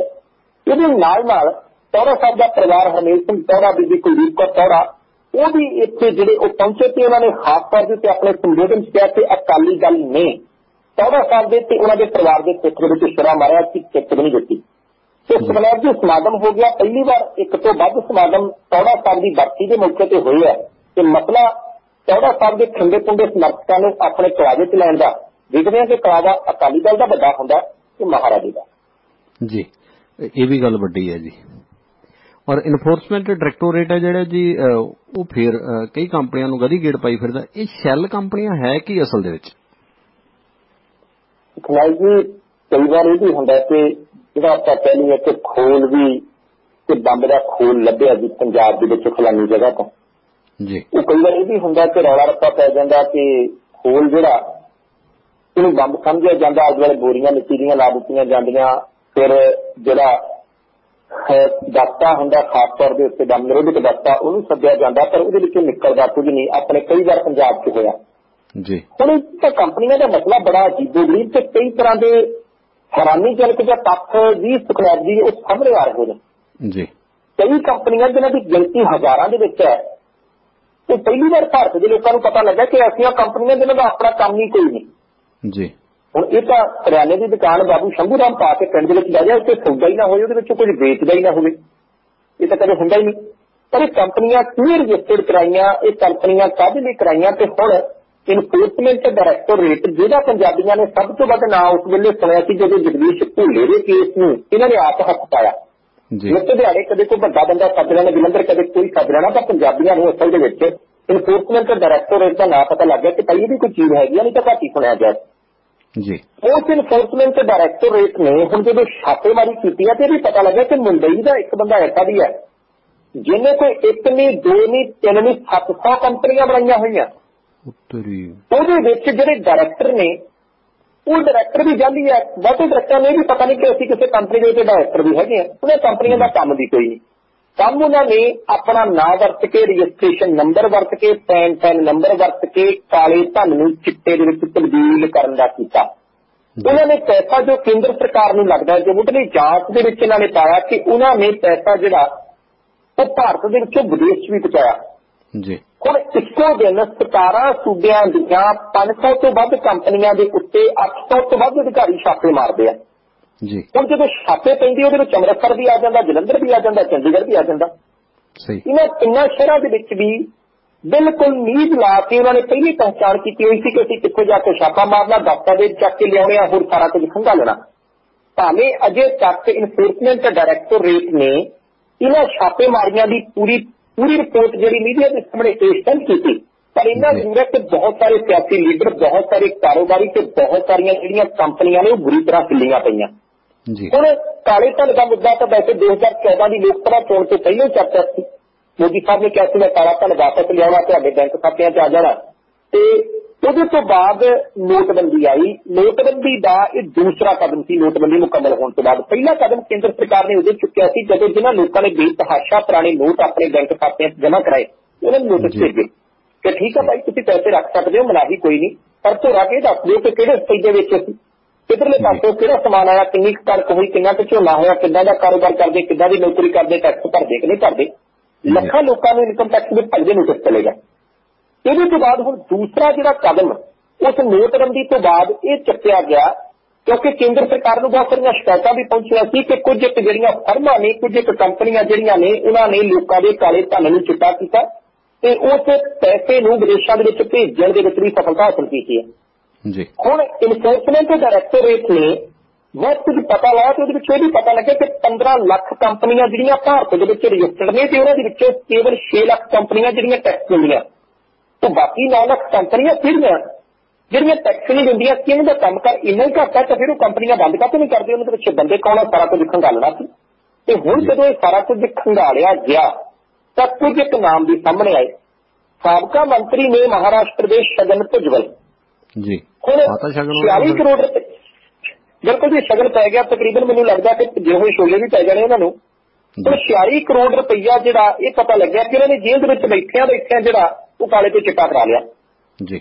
ਇਹਦੇ ਨਾਲ ਨਾਲ ਵਾਈਐਸਆਰ ਰੈਡੀ ਜਿਹੜੇ ਉਹ ਸਾਬਕਾ ਮੁੱਖ ਮੰਤਰੀ ਨੇ ਅੰਦਰ ਦਿੱਤੀ ਉਹਨਾਂ ਦਾ ਬੇਟਾ ਜਗਨਨਾਥ ਜਿਹੜਾ ਉਹ ਪਿਛਲੇ ਦਿਨਾਂ ਦੇ ਵਿੱਚ ਇੱਕ ਮਸਲੇ ਦੇ ਉੱਤੇ ਭੁੱਖ ਹੜਤਾਲ ਤੇ ਵੀ ਬਹੁਤ ਲੰਬਾ ਸਮਾਂ ਬੈਠਿਆ ਸੀ ਉਹਦੇ ਉੱਤੇ ਵੀ ਆਪਣਾ ਕਾਲਾ ਧਨ ਸਫੈਦ ਕਰਾਉਣ ਦਾ ਜਿਹੜਾ ਉਦੇਸ਼ ਲੱਗਾ। ਹੋਰ ਵੀ ਬਹੁਤ ਸਾਰੇ ਲੀਡਰ ਨੇ ਜਿਨ੍ਹਾਂ ਨੂੰ ਇਸ ਵੇਲੇ ਦਿੱਲੀ ਦੇ ਵਿੱਚ ਜਾ ਕੇ ਕੋਈ ਨਾ ਕੋਈ ਸੰਪਰਕ ਲੱਭਣਾ ਪੈ ਰਿਹਾ ਕਿ ਭਾਈ ਈਡੀ ਵਾਲਿਆਂ ਦੇ ਨਾਲ ਕੋਈ ਸੰਪਰਕ ਪੈਦਾ ਕਰੀਏ ਜਾਂ ਕੇਂਦਰ ਸਰਕਾਰ 'ਚ ਕੋਈ ਬੰਦਾ ਹੱਥ ਮਿਲਾਉਣਾ ਹੋਇਆ ਹੋਵੇ। ਤਾਂ ਜੋ ਇਹ ਸਾਰਾ ਕੁਝ ਜਿਹੜਾ ਉਹ ਠੀਕ ਠਾਕ ਹੋ ਸਕੇ। ਪਰ ਇਨਫੋਰਸਮੈਂਟ ਦੇ ਡਾਇਰੈਕਟੋਰੇਟ ਨੇ ਛਾਪੇਮਾਰੀ ਕੀਤੀ ਹੈ, ਬਹੁਤ ਚੰਗੀ ਗੱਲ ਹੈ। ਪਰ ਇਮਾਨਦਾਰੀ ਦੇ ਨਾਲ ਰਿਪੋਰਟਾਂ ਸਾਹਮਣੇ ਆਉਣ, ਪਤਾ ਲੱਗੇ ਕਿ ਕਿਹੜੀ ਕਿਹੜੀ ਪਾਰਟੀ ਦਾ ਕਿਹੜਾ ਕਿਹੜਾ ਬੰਦਾ ਇਸ ਸਾਰੇ ਮਾਮਲੇ ਦੇ ਵਿੱਚ ਚਿੱਕੜ ਦੇ ਵਿੱਚ ਖੁੱਬਿਆ ਹੋਇਆ ਜਾਂ ਕਿਹੜਾ ਕਿਹੜਾ ਧਨਾੜ ਬੰਦਾ ਜਿਹੜਾ ਚਿੱਟੇ ਕੱਪੜੇ ਪਾ ਕੇ ਲੋਕਾਂ 'ਚ ਆਪਣੇ ਆਪ ਨੂੰ ਸਮਾਜ ਸੇਵੀ ਅਖਵਾਉਂਦਾ ਪਰ ਅਸਲ ਦੇ ਵਿੱਚ ਖੁਦ ਤੇ ਵੀ ਵੱਧ ਹੈ। ਇਹ ਸਾਰਾ ਕੁਝ ਪਤਾ ਲੱਗਣਾ ਚਾਹੀਦਾ ਪਰ ਜੇ ਕਿਤੇ ਗੱਲ ਇਹ ਸਪਲਾਇਰ ਦੀ ਹੋਈ ਤੇ ਵੱਡੀਆਂ ਕੰਪਨੀਆਂ ਨੂੰ ਹੱਥ ਪਾਉਣਾ ਤੇ ਹੱਥ ਪਾ ਕੇ ਫਿਰ ਪਿਛਲੇ ਕਮਰੇ ਦੇ ਵਿੱਚ ਬੈਠ ਕੇ ਉਹਨਾਂ ਦੇ ਨਾਲ ਸਮਝੌਤੇ ਕਰਨੇ ਆ ਤਾਂ ਕਿ 2019 ਦੀ ਆਈ ਕਰੀ ਹੈ ਲੋਕ ਸਭਾ ਚੋਣ ਦੇ ਲਈ ਫੰਡ ਵੀ ਬਥੇਰਾ ਚਾਹੀਦਾ ਫਿਰ ਕੰਮ ਭਾਰਤ ਦੇ ਲਈ ਥੋੜੀ ਵੀ ਜ਼ਿਆਦਾ ਔਖਾ ਹੋਊਗੀ ਜਿਹੜੀ ਹਾਰ ਹੋਈ ਹੈ ਜੀ ਪੰਜਾਬ ਦੇ ਵਿੱਚ ਉਹਦਾ ਅਕਾਲੀ ਤੇ ਬੀਜੇਪੀ ਵਾਲੇ ਜੀ ਵਿਸ਼ਲੇਸ਼ਣ ਕਰਨ ਲੱਗੇ ਨੇ। ਕੀ ਨਿਕਲੀ ਆ ਪਰਚੋਲ ਦੇ ਵਿੱਚੋਂ ਗੱਲਬਾਤ? ਸੁਖਨਾਥ ਜੀ ਲੰਘਿਆ ਵੀਕਐਂਡ ਇਸੇ ਮਾਮਲੇ ਦੇ ਉੱਤੇ ਰਿਹਾ ਅਕਾਲੀਆਂ ਨੂੰ ਵੀ ਚੇਤਾ ਆ ਗਿਆ ਤੇ ਚੇਤਾ ਬੀਜੇਪੀ ਵਾਲਿਆਂ ਨੂੰ ਵੀ ਆ ਗਿਆ। ਜੀ। ਪਹਿਲਾਂ ਅਸਲ ਦੇ ਵਿੱਚ ਅਕਾਲੀ ਦਲ ਨੂੰ ਲੱਗਦਾ ਸੀ ਕਿ ਹਾਰ ਤਾਂ ਹੁਣ ਗਏ ਆ ਕੋਰ ਕਮੇਟੀ ਦੀ ਮੀਟਿੰਗ 'ਚ ਗੱਲ ਕਰ ਲਈ ਹੈ। ਕਿ ਅੱਗੇ ਜਾ ਕੇ ਥੱਲੇ ਪੁੱਛਣਾ ਪਤਨਵਾਦੀ ਦਾ ਦੌਰਾ ਕਰਦੇ ਆ ਮੁੜ ਕੇ ਸਿਹਤ ਸੁਧ ਠੀਕ ਕਰਕੇ ਆਵਾਂਗੇ ਵਿਦੇਸ਼ ਦੇ ਵਿੱਚ। ਪਰ ਰੌਲਾ ਪੈਣ ਲੱਗ ਪਿਆ ਸੀ ਵਿੱਚ ਵਿਚਾਲੇ ਇਦਾਂ ਦੀਆਂ ਵੀ ਖਬਰਾਂ ਆ ਗਈਆਂ ਸੀ ਕਿ ਲੋਕੀ ਹੁਣ ਟੁੱਟਣਗੇ ਜਿਹੜੇ ਬੰਦੇ ਖੁੰਝੇ ਲੱਗੇ ਹੋਏ ਸੀ, ਕਿੱਲੀ ਤੇ ਟੰਗੇ ਹੋਏ ਸੀ ਜਾਂ ਜਿਨ੍ਹਾਂ ਨੂੰ ਲੱਗਦਾ ਸੀ ਕਿ ਹਲਕੇ 'ਚ ਕੰਮ ਤਾਂ ਬਹੁਤਾ ਮੈਂ ਕੀਤਾ, ਮੇਰੇ ਸਿਰ ਤੇ ਲਿਆ ਕੇ ਹੋਰ ਪਾਰਟੀ ਦਾ ਬੰਦਾ ਬਿਠਾ ਸਾਡ ਘਰ ਦੀ ਬਹੁਤੀ ਉਹਨੂੰ ਦੇਖ ਕੇ ਗੱਲਾਂ ਵੀ ਉਹਦੀਆਂ ਮੰਨੀਆਂ। ਉਹਨਾਂ ਨੂੰ ਕਿਤੇ ਨਾ ਕਿਤੇ ਬਚਾਉਣਾ ਵੀ ਅਕਾਲੀ ਦਲ ਨੇ ਸਾਰੇ ਜ਼ਿਲ੍ਹਾ ਪ੍ਰਧਾਨ ਸੱਦੇ, ਸਾਰੇ ਜਿੱਤੇ ਹੋਏ ਵਿਧਾਇਕ ਸੱਦੇ, ਸਾਰੇ ਹਾਰੇ ਹੋਏ ਉਮੀਦਵਾਰ ਸੱਦੇ ਤੇ ਫਿਰ ਵੀ ਜਿਹੜੇ ਵਿੱਚ ਵਿਚਾਲੇ ਜਾ ਕੇ ਬਾਦਲ ਪਿੰਡ ਦੇ ਵਿੱਚ ਸਲੂਟ ਮਾਰਿਆ ਸੀ, ਉਹਨਾਂ ਨੂੰ ਵੀ ਸੱਦਿਆ ਕਿ ਭਾਈ ਆਜੋ ਆਪਾਂ ਗੱਲਬਾਤ ਕਰਦੇ ਹਾਂ। ਇੱਥੇ ਤਿੰਨ ਚਾਰ ਮੋਟੀਆਂ-ਮੋਟੀਆਂ ਗੱਲਾਂ ਹੋਈਆਂ ਤੇ ਸੁਖਵੀਰ ਸਿੰਘ ਬਾਦਲ ਹੋਰਾਂ ਨੂੰ ਆਪਣੇ ਵਰਕਰਾਂ ਦਾ ਆਪਣੇ ਲੀਡਰਾਂ ਦਾ ਮਨੋਬਲ ਵਧਾਉਣ ਦੇ ਲਈ ਦਾਅਵਾ ਕਰਨਾ ਪਿਆ। ਕਹਿੰਦੇ ਤੁਸੀਂ ਕਢਵਾਉਣੇਗਾ ਤੋਂ 2017 ਹਾਰੇ ਆ। 17 ਤਾਂ ਨਿਕਲ ਗਿਆ ਸਮਝੋ 18 ਵਿੱਚ ਰਹਿ ਗਿਆ 2019 ਦੇ ਸ਼ੁਰੂ ਵਿੱਚ ਲੋਕ ਸਭਾ ਚੋਣਾਂ ਹੋਣੀਆਂ ਤੇ ਕਹਿੰਦੇ ਆਪਾਂ ਸਾਰੀਆਂ ਸੀਟਾਂ ਜਿੱਤਣੀਆਂ ਤੇ ਤੁਹਾਡੇ ਨਾਲ ਜ਼ਿਆਦਾ ਕਹਿੰਦੇ ਮੈਂ ਇਹ ਵੀ ਕਰਦਾ ਕਿ ਜਿੰਨੀਆਂ ਵੋਟਾਂ ਆਪਾਂ ਨੂੰ ਹੁਣ ਪਈਆਂ ਲੋਕ ਸਭਾ ਦੀਆਂ ਚੋਣਾਂ 'ਚ ਦੁੱਗਣੀਆਂ ਪੈਣੀਆਂ ਅਕਾਲੀ ਦਲ ਜੀ। ਤੇ ਨਾਲ ਦੀ ਨਾਲ ਅਕਾਲੀ ਦਲ ਦੇ ਪੁਰਾਣੇ ਕਾਦਰ ਨੂੰ ਬਚਾ ਕੇ ਰੱਖਣ ਦੇ ਲਈ ਸੁਖਵੀਰ ਸਿੰਘ ਬਾਦਲ ਨੇ ਲਿਖਤੀ ਸ਼ਿਕਾਇਤਾਂ ਮੰਗੀਆਂ ਕਹਿੰਦੇ ਜੇ। ਤੁਹਾਨੂੰ ਲੱਗਦਾ ਕਿ ਕਿਸੇ ਪਾਰਟੀ ਦੇ ਲੀਡਰ ਨੇ ਗਲਤ ਕੰਮ ਕੀਤਾ ਪਾਰਟੀ ਦੇ ਉਮੀਦਵਾਰ ਦੀ ਵਿਰੋਧਤਾ ਕੀਤੀ ਹੈ ਪਾਰਟੀ ਦੀਆਂ ਜੜ੍ਹਾਂ 'ਚ ਤੇਲ ਦਿੱਤਾ ਤਾਂ ਤੁਸੀਂ ਮੈਨੂੰ ਲਿਖਤੀ ਸ਼ਿਕਾਇਤ ਦੇਣਾ ਕਮੇਟੀ ਬਣਾ ਕੇ ਪਰ ਤੁਰੰਤ ਕਾਰਵਾਈ ਕਰੂੰਗਾ। ਹਫ਼ਤੇ ਦੇ ਵਿੱਚ ਵਿੱਚ ਤੁਹਾਡੀ ਰਿਪੋਰਟ ਜਿਹੜੀ ਹੈ ਤੁਹਾਡੀ ਸ਼ਿਕਾਇਤ ਜਿਹੜੀ ਹੈ ਉਹ ਆਪਾਂ ਮੁਕੰਮਲ ਕਰ ਦੇਣੀ ਹੈ। ਜੀ। ਇਹ ਗੱਲ ਦੀ ਇਸ ਕਰਕੇ ਕਿਤੇ ਨਾ ਕਿਤੇ ਕਹਿਣੀ ਪਈ ਹੈ ਕਿ ਪੁਰਾਣੇ ਜਿਹੜੇ ਲੀਡਰ ਨੇ ਕਿਤੇ ਕਿਤੇ ਹੋਰ ਪਾਸੇ ਸੱਜੇ ਖੱਬੇ ਖਿਸਕ ਨਾ ਜਾਣ ਜਿਨ੍ਹਾਂ ਨੂੰ ਅਸੀਂ ਪੰਜ ਸਾਲ ਪੁੱਛਿਆ ਨਹੀਂ। ਨਾ ਉਹਨਾਂ ਨੂੰ ਇੰਚਾਰਜ ਬਣਾਇਆ ਨਾ ਉਹਨਾਂ ਦੀ ਥਾਣੇ ਕਚਹਿਰੀ ਕਿਤੇ ਪੁੱਛਦੇ ਸੀ ਨਾ ਪਾਰਟੀ ਦੇ ਵਿੱਚ ਜਦੋਂ ਕੋਈ ਵੱਡੀ ਮੀਟਿੰਗ ਹੁੰਦੀ ਸੀ ਉਹਨਾਂ ਨੂੰ ਸਟੇਜ ਤੇ ਨਾਲ ਗਵਾਂਟ ਬਿਠਾਇਆ ਜਾਂਦਾ ਸੀ। ਤੇ ਸੁਖਬੀਰ ਸਿੰਘ ਬਾਦਲ ਹੋਰੀ ਇਹਦੇ ਵਿੱਚ ਕਿੰਨਾ ਕੁ ਕਾਮਯਾਬ ਹੁੰਦੇ ਆ ਤੇ ਕਿੰਨਾ ਕੁ ਨਹੀਂ ਆਉਣ ਵਾਲੇ ਸਮੇਂ ਨੂੰ ਦੱਸਣਾ ਪਰ ਮਾਝੇ ਦੇ ਲੀਡਰ ਜਿਹੜੇ ਅਕਾਲੀ ਦਲ ਦੇ ਉਹਨਾਂ ਨੇ ਇੱਕ ਵਾਰ ਫੇਰ ਕਿਹਾ ਕਿ ਤੁਸੀਂ ਮਾਲਵਾ ਬਚਾਉਂਦਿਆਂ ਬਚਾਉਂਦਿਆਂ ਨੇ ਮੇਰਾ ਸਿਰਫਾ ਤੇ ਹਮਾਇਤ ਤਾਂ ਲੈ ਲਈ ਪਰ ਸਾਡਾ ਇਧਰ ਜਿਹੜਾ ਉਹ ਬੁਰਾ ਹਾਲ ਤੁਹਾਡੇ ਉਸ ਫੈਸਲੇ ਦੇ ਕਰਕੇ ਹੋ ਗਿਆ ਪੰਥਕ ਵੋਟਰ ਨੇ ਸਾਨੂੰ ਨਹੀਂ ਲਾਇਆ। ਜੀ। ਇਹਦੇ ਨਾਲ ਨਾਲ ਬਹੁਤ ਸਾਰੇ ਲੀਡਰਾਂ ਦੀ ਇਹ ਵੀ ਰਾਏ ਸੀ ਕਿ ਤੁਸੀਂ ਜਿਹੜੇ ਧੜਾਧੜ ਬੰਦੇ ਆਖਰੀ ਦੇ ਵਿੱਚ ਸ਼ਾਮਲ ਕਰਦੇ ਹੋ ਨਾ ਪਾਰਟੀ ਦੇ ਵਿੱਚ ਫੈਸਲਾ ਕਰ ਜਾਂਦੇ ਆ। ਉਹਨਾਂ ਨੂੰ ਬਾਹਰ ਕਰਨ ਦੀ ਜਿਹੜੀ ਉਹ ਵੀ ਕੋਸ਼ਿਸ਼ ਕਹਿੰਦੇ ਕਰੋ। ਇਹਦੇ ਨਾਲ ਨਾਲ ਇੱਕ ਨਵੀਂ ਗੱਲ ਜਿਹੜੀ ਪਿਛਲੇ 3 ਦਿਨਾਂ ਦੇ ਵਿੱਚ ਚੱਲੀ ਹੈ ਕਿ ਸੁਖਬੀਰ ਸਿੰਘ ਬਾਦਲ ਹੋਰੀ ਆਪ ਵੀ ਬੰਨੇ ਨੇ ਤੇ ਅਕਾਲੀ ਦਲ ਦੇ ਬਹੁਤ ਸਾਰੇ ਲੀਡਰ ਵੀ। ਜੀ। ਕਿ ਕਾਂਗਰਸ ਦੇ ਵਾਅਦਿਆਂ ਦਾ ਸਾਡੇ ਕੋਈ ਤੋੜ ਕੋਈ ਨਹੀਂ ਸੀ। ਪਰ ਕਾਂਗਰਸ ਨੇ ਸਿੱਧਾ ਕਹਿਤਾ ਸੀ ਕਿਸਾਨਾਂ ਦਾ ਕਰਜ਼ਾ ਮਾਫ ਕਰਾਂਗੇ। ਅਕਾਲੀ ਦਲ ਕਹੀ ਜਾਂਦਾ ਸੀ ਮਾਫ ਹੋ ਨਹੀਂ ਸਕਦਾ ਕੇਂਦਰ ਕਰੂ। ਇਹਦੇ ਨਾਲ ਨਾਲ ਉਹਨਾਂ ਨੇ ਕਿਹਾ ਕਿ ਮੋਬਾਈਲ ਫੋਨ ਦੇਵਾਂਗੇ। ਅਕਾਲੀ ਦਲ ਤੋਂ ਇਹ ਗੱਲ ਕਹਿ ਨਹੀਂ ਹੋਈ, ਕਹਿੰਦੇ ਉਸ ਗੱਲ ਦਾ ਵੀ ਤੋੜ ਕੋਈ ਨਹੀਂ। ਸੀ ਇਹਦੇ ਨਾਲ ਨਾਲ ਕੈਪਟਨ ਅਮਰਿੰਦਰ ਸਿੰਘ ਹੋਰਾਂ ਨੇ ਕਹਿਤਾ ਸੀ ਕਿ ਹਰ ਘਰ ਦੇ ਵਿੱਚ ਇੱਕ ਪਰਿਵਾਰਕ ਮੈਂਬਰ ਨੂੰ ਨੌਕਰੀ ਦਿਆਂਗੇ ਤੇ ਅਕਾਲੀਆਂ ਤੇ ਤਾਂ ਜਿਹੜੀਆਂ 1.5 ਲੱਖ ਨੌਕਰੀਆਂ ਉਹਨਾਂ ਨੇ ਅਨਾਉਂਸ ਕੀਤੀਆਂ ਸੀ ਉਹ ਆਖੀ 6 ਮਹੀਨੇ ਦੇ ਵਿੱਚ ਦਿੱਤੀਆਂ ਗਈਆਂ। ਤੇ ਬਹੁਤੇ ਅਕਾਲੀ ਲੀਡਰ ਕਹਿੰਦੇ ਸੀ ਕਿ ਸੋਸ਼ਲ ਮੀਡੀਆ ਦੇ ਵਿੱਚ ਸਾਡੇ ਖਿਲਾਫ ਪ੍ਰਚਾਰ ਤੋਂ ਆਧਾਰ ਹੋਇਆ, ਸਾਡੇ ਤੋਂ ਮੁਕਾਬਲਾ ਨਾ ਕਰ ਹੋਇਆ, ਕਾਂਗਰਸ ਪਾਰਟੀ ਨੇ ਲੋਕਾਂ ਦੇ ਸਾਹਮਣੇ ਸਭ ਕੁਝ ਇਸ ਤਰੀਕੇ ਦੇ ਨਾਲ ਪਰੋਸ ਕੇ ਰੱਖਿਆ ਕਿ ਸਾਡੀ ਥਾਲੀ ਜਿਹੜੀ ਸਿਆਸੀ ਤੌਰ ਤੇ ਉਹਦੇ ਵੱਲ ਪੰਜਾਬ ਦੇ ਲੋਕਾਂ ਨੇ ਝਾਕਿਆ ਹੀ ਨਹੀਂ। ਸੋ ਇਦਾਂ ਦੀਆਂ ਗੱਲਾਂ ਬਾਤਾਂ ਕਰਕੇ ਸੁਖਬੀਰ ਸਿੰਘ ਬਾਦਲ ਹੋਰਾਂ ਨੇ ਥਾਪੜਾ ਦੇ ਕੇ ਘਰੋਂ ਘਰ ਅਕਾਲੀ ਤੋੜ ਦਿੱਤੇ ਆ। ਵੇਖਦੇ ਆ ਕਿ ਕਿੰਨੇ ਕੁ ਜਥੇਦਾਰ ਜਥੇਦਾਰੀਆਂ ਕਾਇਮ ਰੱਖਦੇ ਆ ਤੇ ਕਿੰਨੇ ਕੁ ਪੱਗਾਂ ਦਾ ਰੰਗ ਬਦਲਦੇ ਆ। ਗੱਲ ਬੀਜੇਪੀ ਦੀ ਪੁਕਾਰ ਜੀ ਕਰ ਲਈ ਆ। ਜੀ। ਬੀਜੇਪੀ ਦੀ ਲੀਡਰਸ਼ਿਪ ਦੀ ਮੀਟਿੰਗ ਹੋਈ। 20 ਦਿਨ ਲੱਗ ਗਿਆ ਉਹਨਾਂ ਨੂੰ ਵਿਧਾਨ ਸਭਾ ਚੋਣਾਂ ਦੇ ਵਿੱਚ ਨਤੀਜੇ ਆਉਣ ਤੋਂ ਬਾਅਦ। ਕਿਉਂਕਿ 20 ਬੰਦੇ ਉਹਨਾਂ ਦੇ ਹਾਰੇ ਸੀ। ਤਿੰਨਾਂ ਦੇ ਵਿੱਚੋਂ ਤਿੰਨ ਹੀ ਜਿੱਤੇ ਜੀ। ਜਿਹੜੇ 20 ਬੰਦੇ ਹਾਰੇ ਸੀ ਉਹਨਾਂ ਦੇ ਵਿੱਚੋਂ 18 ਬੰਦਿਆਂ ਨੇ ਕਿਹਾ ਕਿ ਸਾਡੀ ਲੀਡਰਸ਼ਿਪ ਦੇ ਵਿੱਚੋਂ ਗੁਣ ਹੀ ਨਹੀਂ ਸੀ ਜਿਸ ਗੁਣ ਦੇ ਨਾਲ ਕਿਸੇ ਵਿਧਾਨ ਸਭਾ ਚੋਣ ਦੇ ਵਿੱਚ ਪਾਰਟੀ ਨੇ ਜਿੱਤਣਾ ਹੁੰਦਾ।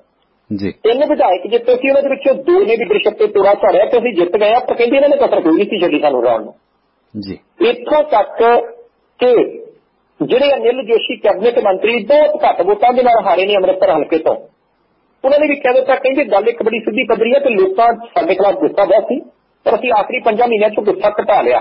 ਪਰ ਕਹਿੰਦੇ ਪਾਰਟੀ ਦੀ ਫੁੱਟ ਜਿਹੜੀ ਹੈ ਉਸ ਫੁੱਟ ਨੇ ਸਾਡੇ ਪੱਲੇ ਕੱਖ ਨਹੀਂ ਛੱਡਿਆ ਸਾਨੂੰ ਆਪਣੇ ਹਰਾ ਗਿਆ। ਜੀ। ਇਹਦੇ ਨਾਲ ਨਾਲ ਭਾਵੇਂ ਬਾਹਰ ਆ ਕੇ ਮੀਟਿੰਗ ਤੋਂ ਬਾਅਦ ਵਿਜੇ ਸਾਪਲਾ ਨੇ ਪੱਤਰਕਾਰਾਂ ਨੂੰ ਕਿਹਾ ਹੱਸਦੇ ਹੱਸਦੇ ਮੁਸਕਰਾਉਣ ਦੀ ਕੋਸ਼ਿਸ਼ ਕਰਦੇ ਕਿ ਅੰਦਰ ਕੋਈ ਹੰਗਾਮਾ ਨਹੀਂ ਹੋਇਆ ਸਾਰਾ ਕੁਝ ਠੀਕ ਹੈ। ਪਰ। ਇਹ ਗੱਲ ਜਿਹੜੀ ਆ ਬਹੁਤ ਸਾਰੇ ਭਾਰਤੀ ਜਨਤਾ ਪਾਰਟੀ ਦੇ ਲੀਡਰਾਂ ਨੇ ਨਾਮ ਗੁਪਤ ਰੱਖਣ ਦੀ ਸ਼ਰਤ ਦੇ ਉੱਤੇ ਮੰਨ ਲਈ ਹੈ ਕਿ ਕੁਝ ਕੁ ਲੀਡਰ ਤਾਂ ਇੰਨੇ ਗਰਮ ਹੋ ਗਏ ਸੀ ਘਰ ਤੋਂ ਹੋਣ ਨੂੰ ਫਿਰਦੇ ਸੀ। ਤੇ ਲੱਗਦਾ ਇਸ ਮੀਟਿੰਗ ਦੇ ਵਿੱਚ ਜਿਸ ਤਰੀਕੇ ਜਨਰਲ ਸਕੱਤਰ ਜਿਹੜੇ ਭਾਰਤੀ ਜਨਤਾ ਪਾਰਟੀ ਦੇ ਕੌਮੀ ਪੱਧਰ ਦੇ ਤੇ ਬੀਜੇਪੀ, ਪੰਜਾਬ ਮਾਮਲਿਆਂ ਦੇ ਇੰਚਾਰਜ ਜਿਹੜੇ ਨੇ, ਉਹਨਾਂ ਦੇ ਬੈਠਿਆਂ ਦੇ ਉੱਤੇ ਜਿੰਨੇ ਦੋਸ਼ ਲੀਡਰਸ਼ਿਪ ਤੇ ਲੱਗੇ ਆ, ਪਾਪਲਾ ਸਾਹਿਬ ਨੂੰ ਸਮਾਨ ਬੰਨ ਨਹੀਂ ਲੈਣਾ ਚਾਹੀਦਾ। ਜੀ। ਸੋ ਸਮਾਨ ਤਾਂ ਵੱਜਦਾ ਹੀ ਰਹੂਗਾ ਜੀ ਮੇਰੇ ਖਿਆਲ ਦੇ ਵਿੱਚ, ਕਿੰਗਾਂ ਦਾ ਵੱਜਣਾ ਜਿਹੋ ਜਿਹੇ ਹਾਲਾਤ ਬਣੇ ਪਏ ਨੇ। ਤੇ ਉਧਰ ਸਾਬਕਾ ਫੌਜੀਆਂ ਨੂੰ ਕਿਹਾ ਜੀ ਕਹਿੰਦੇ ਤੁਸੀਂ ਆਪਦਾ ਬਿਸਤਰਾ ਬੰਨੋ ਨਾ ਹੁਣ ਖੋਲ ਲਓ। ਕੈਪਟਨ ਅਮਰਿੰਦਰ ਸਿੰਘ ਹੋ ਰਿਹਾ ਜਿਹੜੇ ਜੀ ਟੇਕ ਰੱਖੀ ਬੈਠੇ ਸਾਬਕਾ ਫੌਜੀਆਂ ਦੇ ਉੱਤੇ। ਸੁਖਨਾਥ ਜੀ ਇੱਕ ਵੱਖਰੀ ਕਿਸਮ ਦਾ ਵਰਤਾਰਾ ਪੰਜਾਬ 'ਚ ਹੋਣ ਜਾ ਰਿਹਾ ਲੱਗਦਾ ਜੋ ਹੋਇਆ। ਕੈਪਟਨ ਸਾਹਿਬ ਦੇ ਜਿਹੜੇ ਸਲਾਹਕਾਰ ਨੇ ਉਹਨਾਂ ਦੇ ਵਿੱਚ ਵੀ ਚੋਖੀ ਗਿਣਤੀ ਹੈ ਸਾਬਕਾ ਫੌਜ ਦੇ ਅਧਿਕਾਰੀਆਂ ਦੀ ਸਾਬਕਾ ਫੌਜੀਆਂ ਦੀ। ਜੀ। ਕੈਪਟਨ ਅਮਰਿੰਦਰ ਸਿੰਘ ਹੋਰੀ ਖੁਦ ਫੌਜ ਦੇ ਵਿੱਚ ਸੇਵਾ ਨਿਭਾ ਚੁੱਕੇ ਹਨ ਜੀ। ਇਹਦੇ ਨਾਲ ਨਾਲ ਹੁਣ ਜੇ ਪੰਜਾਬ ਦੇ ਪਿੰਡਾਂ ਦੇ ਵਿੱਚ ਸਾਬਕਾ ਫੌਜੀਆਂ ਨੂੰ ਡਿਊਟੀ ਦਿੱਤੀ ਜਾਣੀ ਹੈ ਤਾਂ ਕਿਤੇ ਨਾ ਕਿਤੇ ਕੁਝ ਨਵਾਂ ਜਿਹੜਾ ਵੇਖਣ ਨੂੰ ਮਿਲ ਸਕਦਾ ਕਿਉਂਕਿ ਅਕਾਲੀ ਦਲ ਦਾ ਅੱਜ ਤੱਕ ਇਹ ਦਾਅਵਾ ਰਿਹਾ ਪਿਛਲੇ 10 ਸਾਲਾਂ ਦੇ ਵਿੱਚ ਕਿ ਅਸੀਂ ਪਿੰਡਾਂ ਦੀ ਨੁਹਾਰ ਬਦਲ ਦਿੱਤੀ ਹੈ ਸਿੱਖਿਆ ਤੰਤਰ ਦਾ ਬਹੁਤ ਜ਼ਿਆਦਾ ਵਿਕਾਸ ਕੀਤਾ ਹੈ ਅਸੀਂ ਐਸਾ ਕੋਈ ਖੇਤਰ ਪੰਜਾਬ ਦਾ ਛੱਡਿਆ ਹੀ ਨਹੀਂ ਜਿੱਥੇ ਬਹੁਤ ਸਾਰੀਆਂ ਸਮੱਸਿਆਵਾਂ ਹੋਣ ਦੇ ਬਾਵਜੂਦ ਵੀ ਅਸੀਂ। ਪੰਜਾਬ ਦੇ ਲੋਕਾਂ ਦਾ ਸਰਬੱਤੀ ਵਿਕਾਸ ਨਾ ਕੀਤਾ ਹੋਵੇ ਦੂਜੇ ਪਾਸੇ ਨਵੀਂ ਬਣੀ ਜਿਹੜੀ ਕੈਪਟਨ ਸਰਕਾਰ ਹੈ ਉਹਦਾ ਇਹ ਦਾਵਾ ਕਿ ਅਕਾਲੀ ਦਲ ਨੇ ਪਿਛਲੇ ਦਸਾਂ ਵਰ੍ਹਿਆਂ ਦੇ ਵਿੱਚ ਪੰਜਾਬ ਦਾ ਬੇੜਾ ਗਰਕ ਕਰਤਾ। ਜੀ। ਇਸ ਕਰਕੇ ਕਹਿੰਦੇ ਪੈਰਾਸਰ ਲਿਆਉਣ ਦੇ ਲਈ ਸਾਨੂੰ ਮਿਹਨਤ ਬਹੁਤ ਕਰਨੀ ਪੈਣੀ ਹੈ। ਜੀ। ਕੈਪਟਨ ਅਮਰਿੰਦਰ ਸਿੰਘ ਨੇ ਪੰਜਾਬ ਦੇ ਜਿਹੜੇ ਸਾਬਕਾ ਫੌਜੀ ਹੈ ਉਹਨਾਂ ਨੂੰ ਪੰਜਾਬ ਦੇ ਹਜ਼ਾਰਾਂ ਪਿੰਡਾਂ ਦੇ ਵਿੱਚ ਮਹੱਤਵਪੂਰਨ ਕੰਮ ਦੇਣ ਦੀ ਯੋਜਨਾ ਬਣਾਤੀ ਹੈ। ਜੀ। ਨਾਮ ਰੱਖਿਆ ਗਿਆ ਜੀ ਪ੍ਰਬੰਧਾਂ ਦੇ ਹੁਣ ਇਹ ਗੱਲ ਵੀ ਪੱਕੀ ਹੈ ਕਿ ਸਾਬਕਾ ਫੌਜੀਆਂ ਨੂੰ ਕੋਈ ਪਸੰਦ ਪੰਜਾਬ ਦੇ ਪਿੰਡਾਂ 'ਚ ਕਰੇ ਨਾ ਕਰੇ ਪਰ ਉਹ ਸਮੇਂ ਦੇ ਥੋੜੇ ਜਿਹੇ ਪਾਬੰਦ ਹੁੰਦੇ ਆ ਵਿੱਚ ਵਿਵਾਦ ਵੀ ਹੁੰਦੇ ਆ। ਜੀ। ਇਹਦੇ ਨਾਲ ਨਾਲ ਹਿਸਾਬ ਕਿਤਾਬ ਦੇ ਵੀ ਬੜੇ ਪੂਰੇ ਹੁੰਦੇ ਕਈ ਵਾਰ ਆਪਾਂ ਵੇਖਿਆ। ਕਿ ਜੇ ਹੁਣ ਕੈਪਟਨ ਅਮਰਿੰਦਰ ਸਿੰਘ ਦੀ ਪਹਿਲਾਂ ਐਲਾਨੀ ਗਈ ਨੀਤੀ ਦੇ ਮੁਤਾਬਕ ਪੰਜਾਬ ਦੇ ਹਰ ਇੱਕ ਪਿੰਡ ਦੇ ਵਿੱਚ ਇੱਕ ਇੱਕ ਸਾਬਕਾ ਫੌਜੀ ਨੂੰ ਠੇਕੇ ਦੇ ਉੱਤੇ ਰੱਖ ਕੇ ਭੁਗਤਾਨ ਕੀਤਾ ਗਿਆ ਜਾਂ ਕੰਮ ਦੇ ਅਨੁਸਾਰ ਪੈਸੇ ਦਿੱਤੇ ਗਏ ਤਾਂ ਹੋ ਸਕਦਾ ਕਿ ਪੰਜਾਬ ਦੇ ਪਿੰਡਾਂ ਦੇ ਵਿੱਚ ਜਿਹੜੇ ਸਰਕਾਰੀ ਕੰਮਕਾਰ ਚੱਲਦੇ ਆ ਜਿਹੜੀਆਂ ਗ੍ਰਾਂਟਾਂ ਲੱਗਦੀਆਂ ਜਿਹੜੇ ਅਧਿਆਪਕ ਪੜਾਉਂਦੇ ਆ ਜਿਨ੍ਹਾਂ ਪਿੰਡਾਂ ਦੇ ਵਿੱਚ ਡਿਸਪੈਂਸਰੀਆਂ ਹੈਗੀਆਂ ਜਾਂ ਜਿਨ੍ਹਾਂ ਪਿੰਡਾਂ ਦੇ ਵਿੱਚ ਸੇਵਾ ਕੇਂਦਰ ਖੁੱਲੇ ਹੋਏ ਨੇ ਜਾਂ ਜਿਨ੍ਹਾਂ ਪਿੰਡਾਂ ਦੇ ਵਿੱਚ ਕੋਈ ਹੋਰ ਸਰਕਾਰੀ ਅਦਾਰਾ ਉੱਥੋਂ ਦੇ ਕੰਮਕਾਰ ਦੇ ਉੱਤੇ ਸਾਬਕਾ ਫੌਜੀ ਨਿਗਾਹ ਜਿਹੜੀ ਉਹ ਪੂਰੀ ਰੱਖਣਗੇ। ਜੀ। ਹੁਣ ਸਾਬਕਾ ਫੌਜੀਆਂ ਦਾ ਕੰਮ ਕੀ ਹੋਣਾ ਜੋ ਕੈਪਟਨ ਅਮਰਿੰਦਰ ਸਿੰਘ ਦੀ ਨੀਤੀ ਹੈ ਉਹਦੇ ਮੁਤਾਬਕ ਸਾਬਕਾ ਫੌਜੀ ਜੇ ਸੜਕ ਬਣਦੀ ਹੈ ਜਾ ਕੇ ਇਹ ਨਹੀਂ ਕਰਨਗੇ ਕਿ ਭਾਈ ਤੁਸੀਂ ਵੱਟੇ ਜਾ ਕੇ ਭਾਈ ਤੁਸੀਂ ਫਲਾਨੀ ਜਗ੍ਹਾ ਨੂੰ ਪਾਓ ਉਹ ਦਖਲਅੰਦਾਜ਼ੀ ਨਹੀਂ ਕਰਨਗੇ। ਜੀ। ਕਿੰਤੂ ਪਰੰਤੂ ਨਹੀਂ ਕਰਨਗੇ। ਕੋਈ ਅਧਿਆਪਕ ਲੇਟ ਆਇਆ ਜਾਂ ਕੋਈ ਅਧਿਆਪਕ ਗੈਰ ਹਾਜ਼ਰ ਆ ਤਾਂ ਇਹ ਨਹੀਂ ਕਹਿਣਗੇ ਪੁੱਛ ਨਹੀਂ ਸਕਦੇ ਕਿ ਤੁਸੀਂ ਕਿਉਂ ਲੇਟ ਆਏ ਹੋ। ਜੀ। ਉਹਨਾਂ ਨੇ ਪੰਜਾਬ ਦੀ ਸਰਕਾਰ ਨੂੰ ਸਿੱਧੀ ਰਿਪੋਰਟ ਭੇਜਣੀ ਹੈ ਕਿ ਸਾਡੇ ਪਿੰਡ ਦੇ ਵਿੱਚ ਆਹ ਕੰਮ ਹੁੰਦਾ ਮੈਨੂੰ ਲੱਗਦਾ ਕਿ ਇਹਦੇ ਵਿੱਚ ਬਜਰੀ ਘੱਟ ਪਾਈ ਜਾ ਰਹੀ ਹੈ। ਗਲੀਆਂ ਨਾਲੀਆਂ ਬਣਾਈਆਂ ਜਾ ਰਹੀਆਂ, ਸੀਮੈਂਟ ਥੋੜਾ ਰੇਤਾ ਹੀ ਬਹੁਤੀ ਹੈ ਤੇ ਸਾਰੀ ਰੇਤਾ ਹੀ ਹੈ। ਫਲਾਨਾ ਅਧਿਆਪਕ ਜਿਹੜਾ ਇਸ ਦਿਨ 15 ਮਿੰਟ ਲੇਟ ਆਇਆ, ਇਸ ਦਿਨ 8 ਮਿੰਟ ਲੇਟ ਆਇਆ। ਇਦਾਂ ਦੀਆਂ ਸਾਰੀਆਂ ਗੱਲਾਂ ਬਾਤਾਂ ਦੀ ਸਿੱਧੀ ਰਿਪੋਰਟ ਜਿਹੜੀ ਹੈ, ਇਹ ਸਾਬਕਾ ਫੌਜੀ ਪੰਜਾਬ ਸਰਕਾਰ ਨੂੰ ਭੇਜਣਗੇ। ਤੇ ਕੈਪਟਨ ਅਮਰਿੰਦਰ ਸਿੰਘ ਦੀ ਜਿਹੜੀ ਹਾਲ ਦੀ ਘੜੀ ਦੀ ਨੀਤੀ ਹੈ ਕਿ 40 ਘੰਟੇ ਦੇ ਵਿੱਚ ਵਿੱਚ ਸਾਬਕਾ ਫੌਜੀਆਂ ਦੀ ਇਸ ਰਿਪੋਰਟ ਦੇ ਉੱਤੇ ਕਾਰਵਾਈ ਕੀਤੀ ਜਾਊ।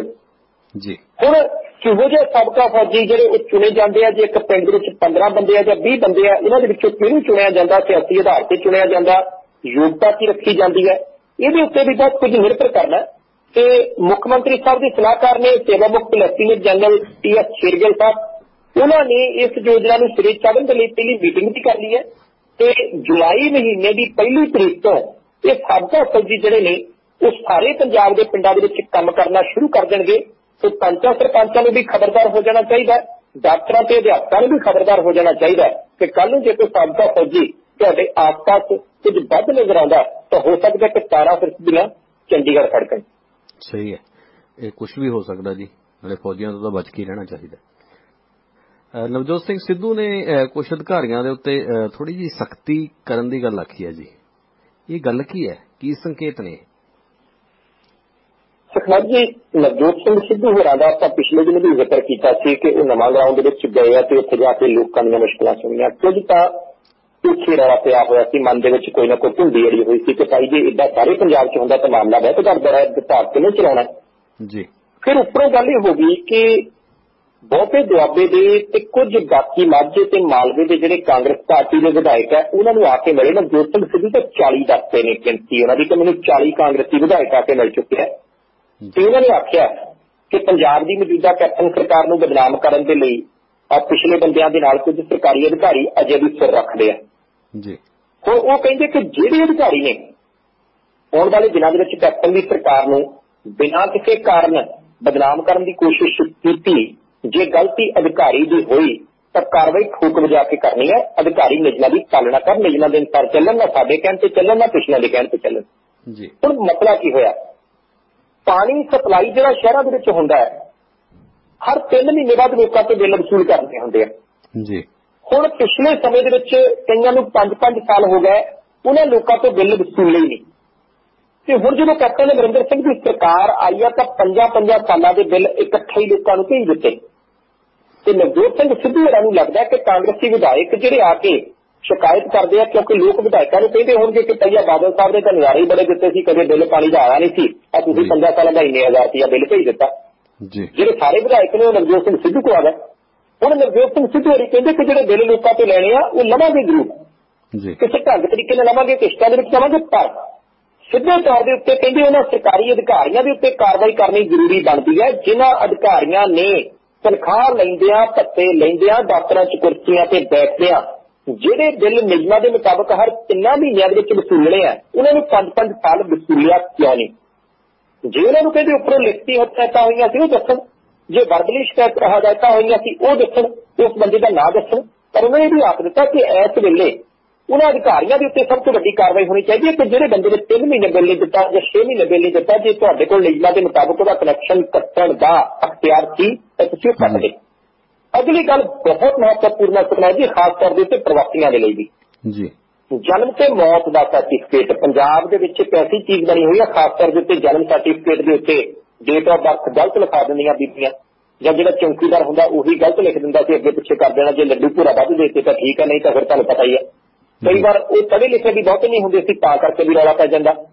ਸ਼ੁਰੂਆਤੀ ਦੌਰ ਦੇ ਵਿੱਚ ਘਰਦਿਆਂ ਨੇ ਜਿਹੜਾ ਚੁੰਨੂ ਮੁੰਨੂ ਨਾਂ ਰੱਖਿਆ ਹੁੰਦਾ ਸੀ ਉਹੀ ਜਨਮ ਸਰਟੀਫਿਕੇਟਾਂ ਤੇ ਚਲੀ ਜਾਂਦਾ। ਬਾਅਦ ਵਿੱਚ ਉਹ ਬੰਦਾ ਜਿਹੜਾ ਉਹ ਚੰਨਣ ਸਿੰਘ ਬਣ ਜਾਂਦਾ।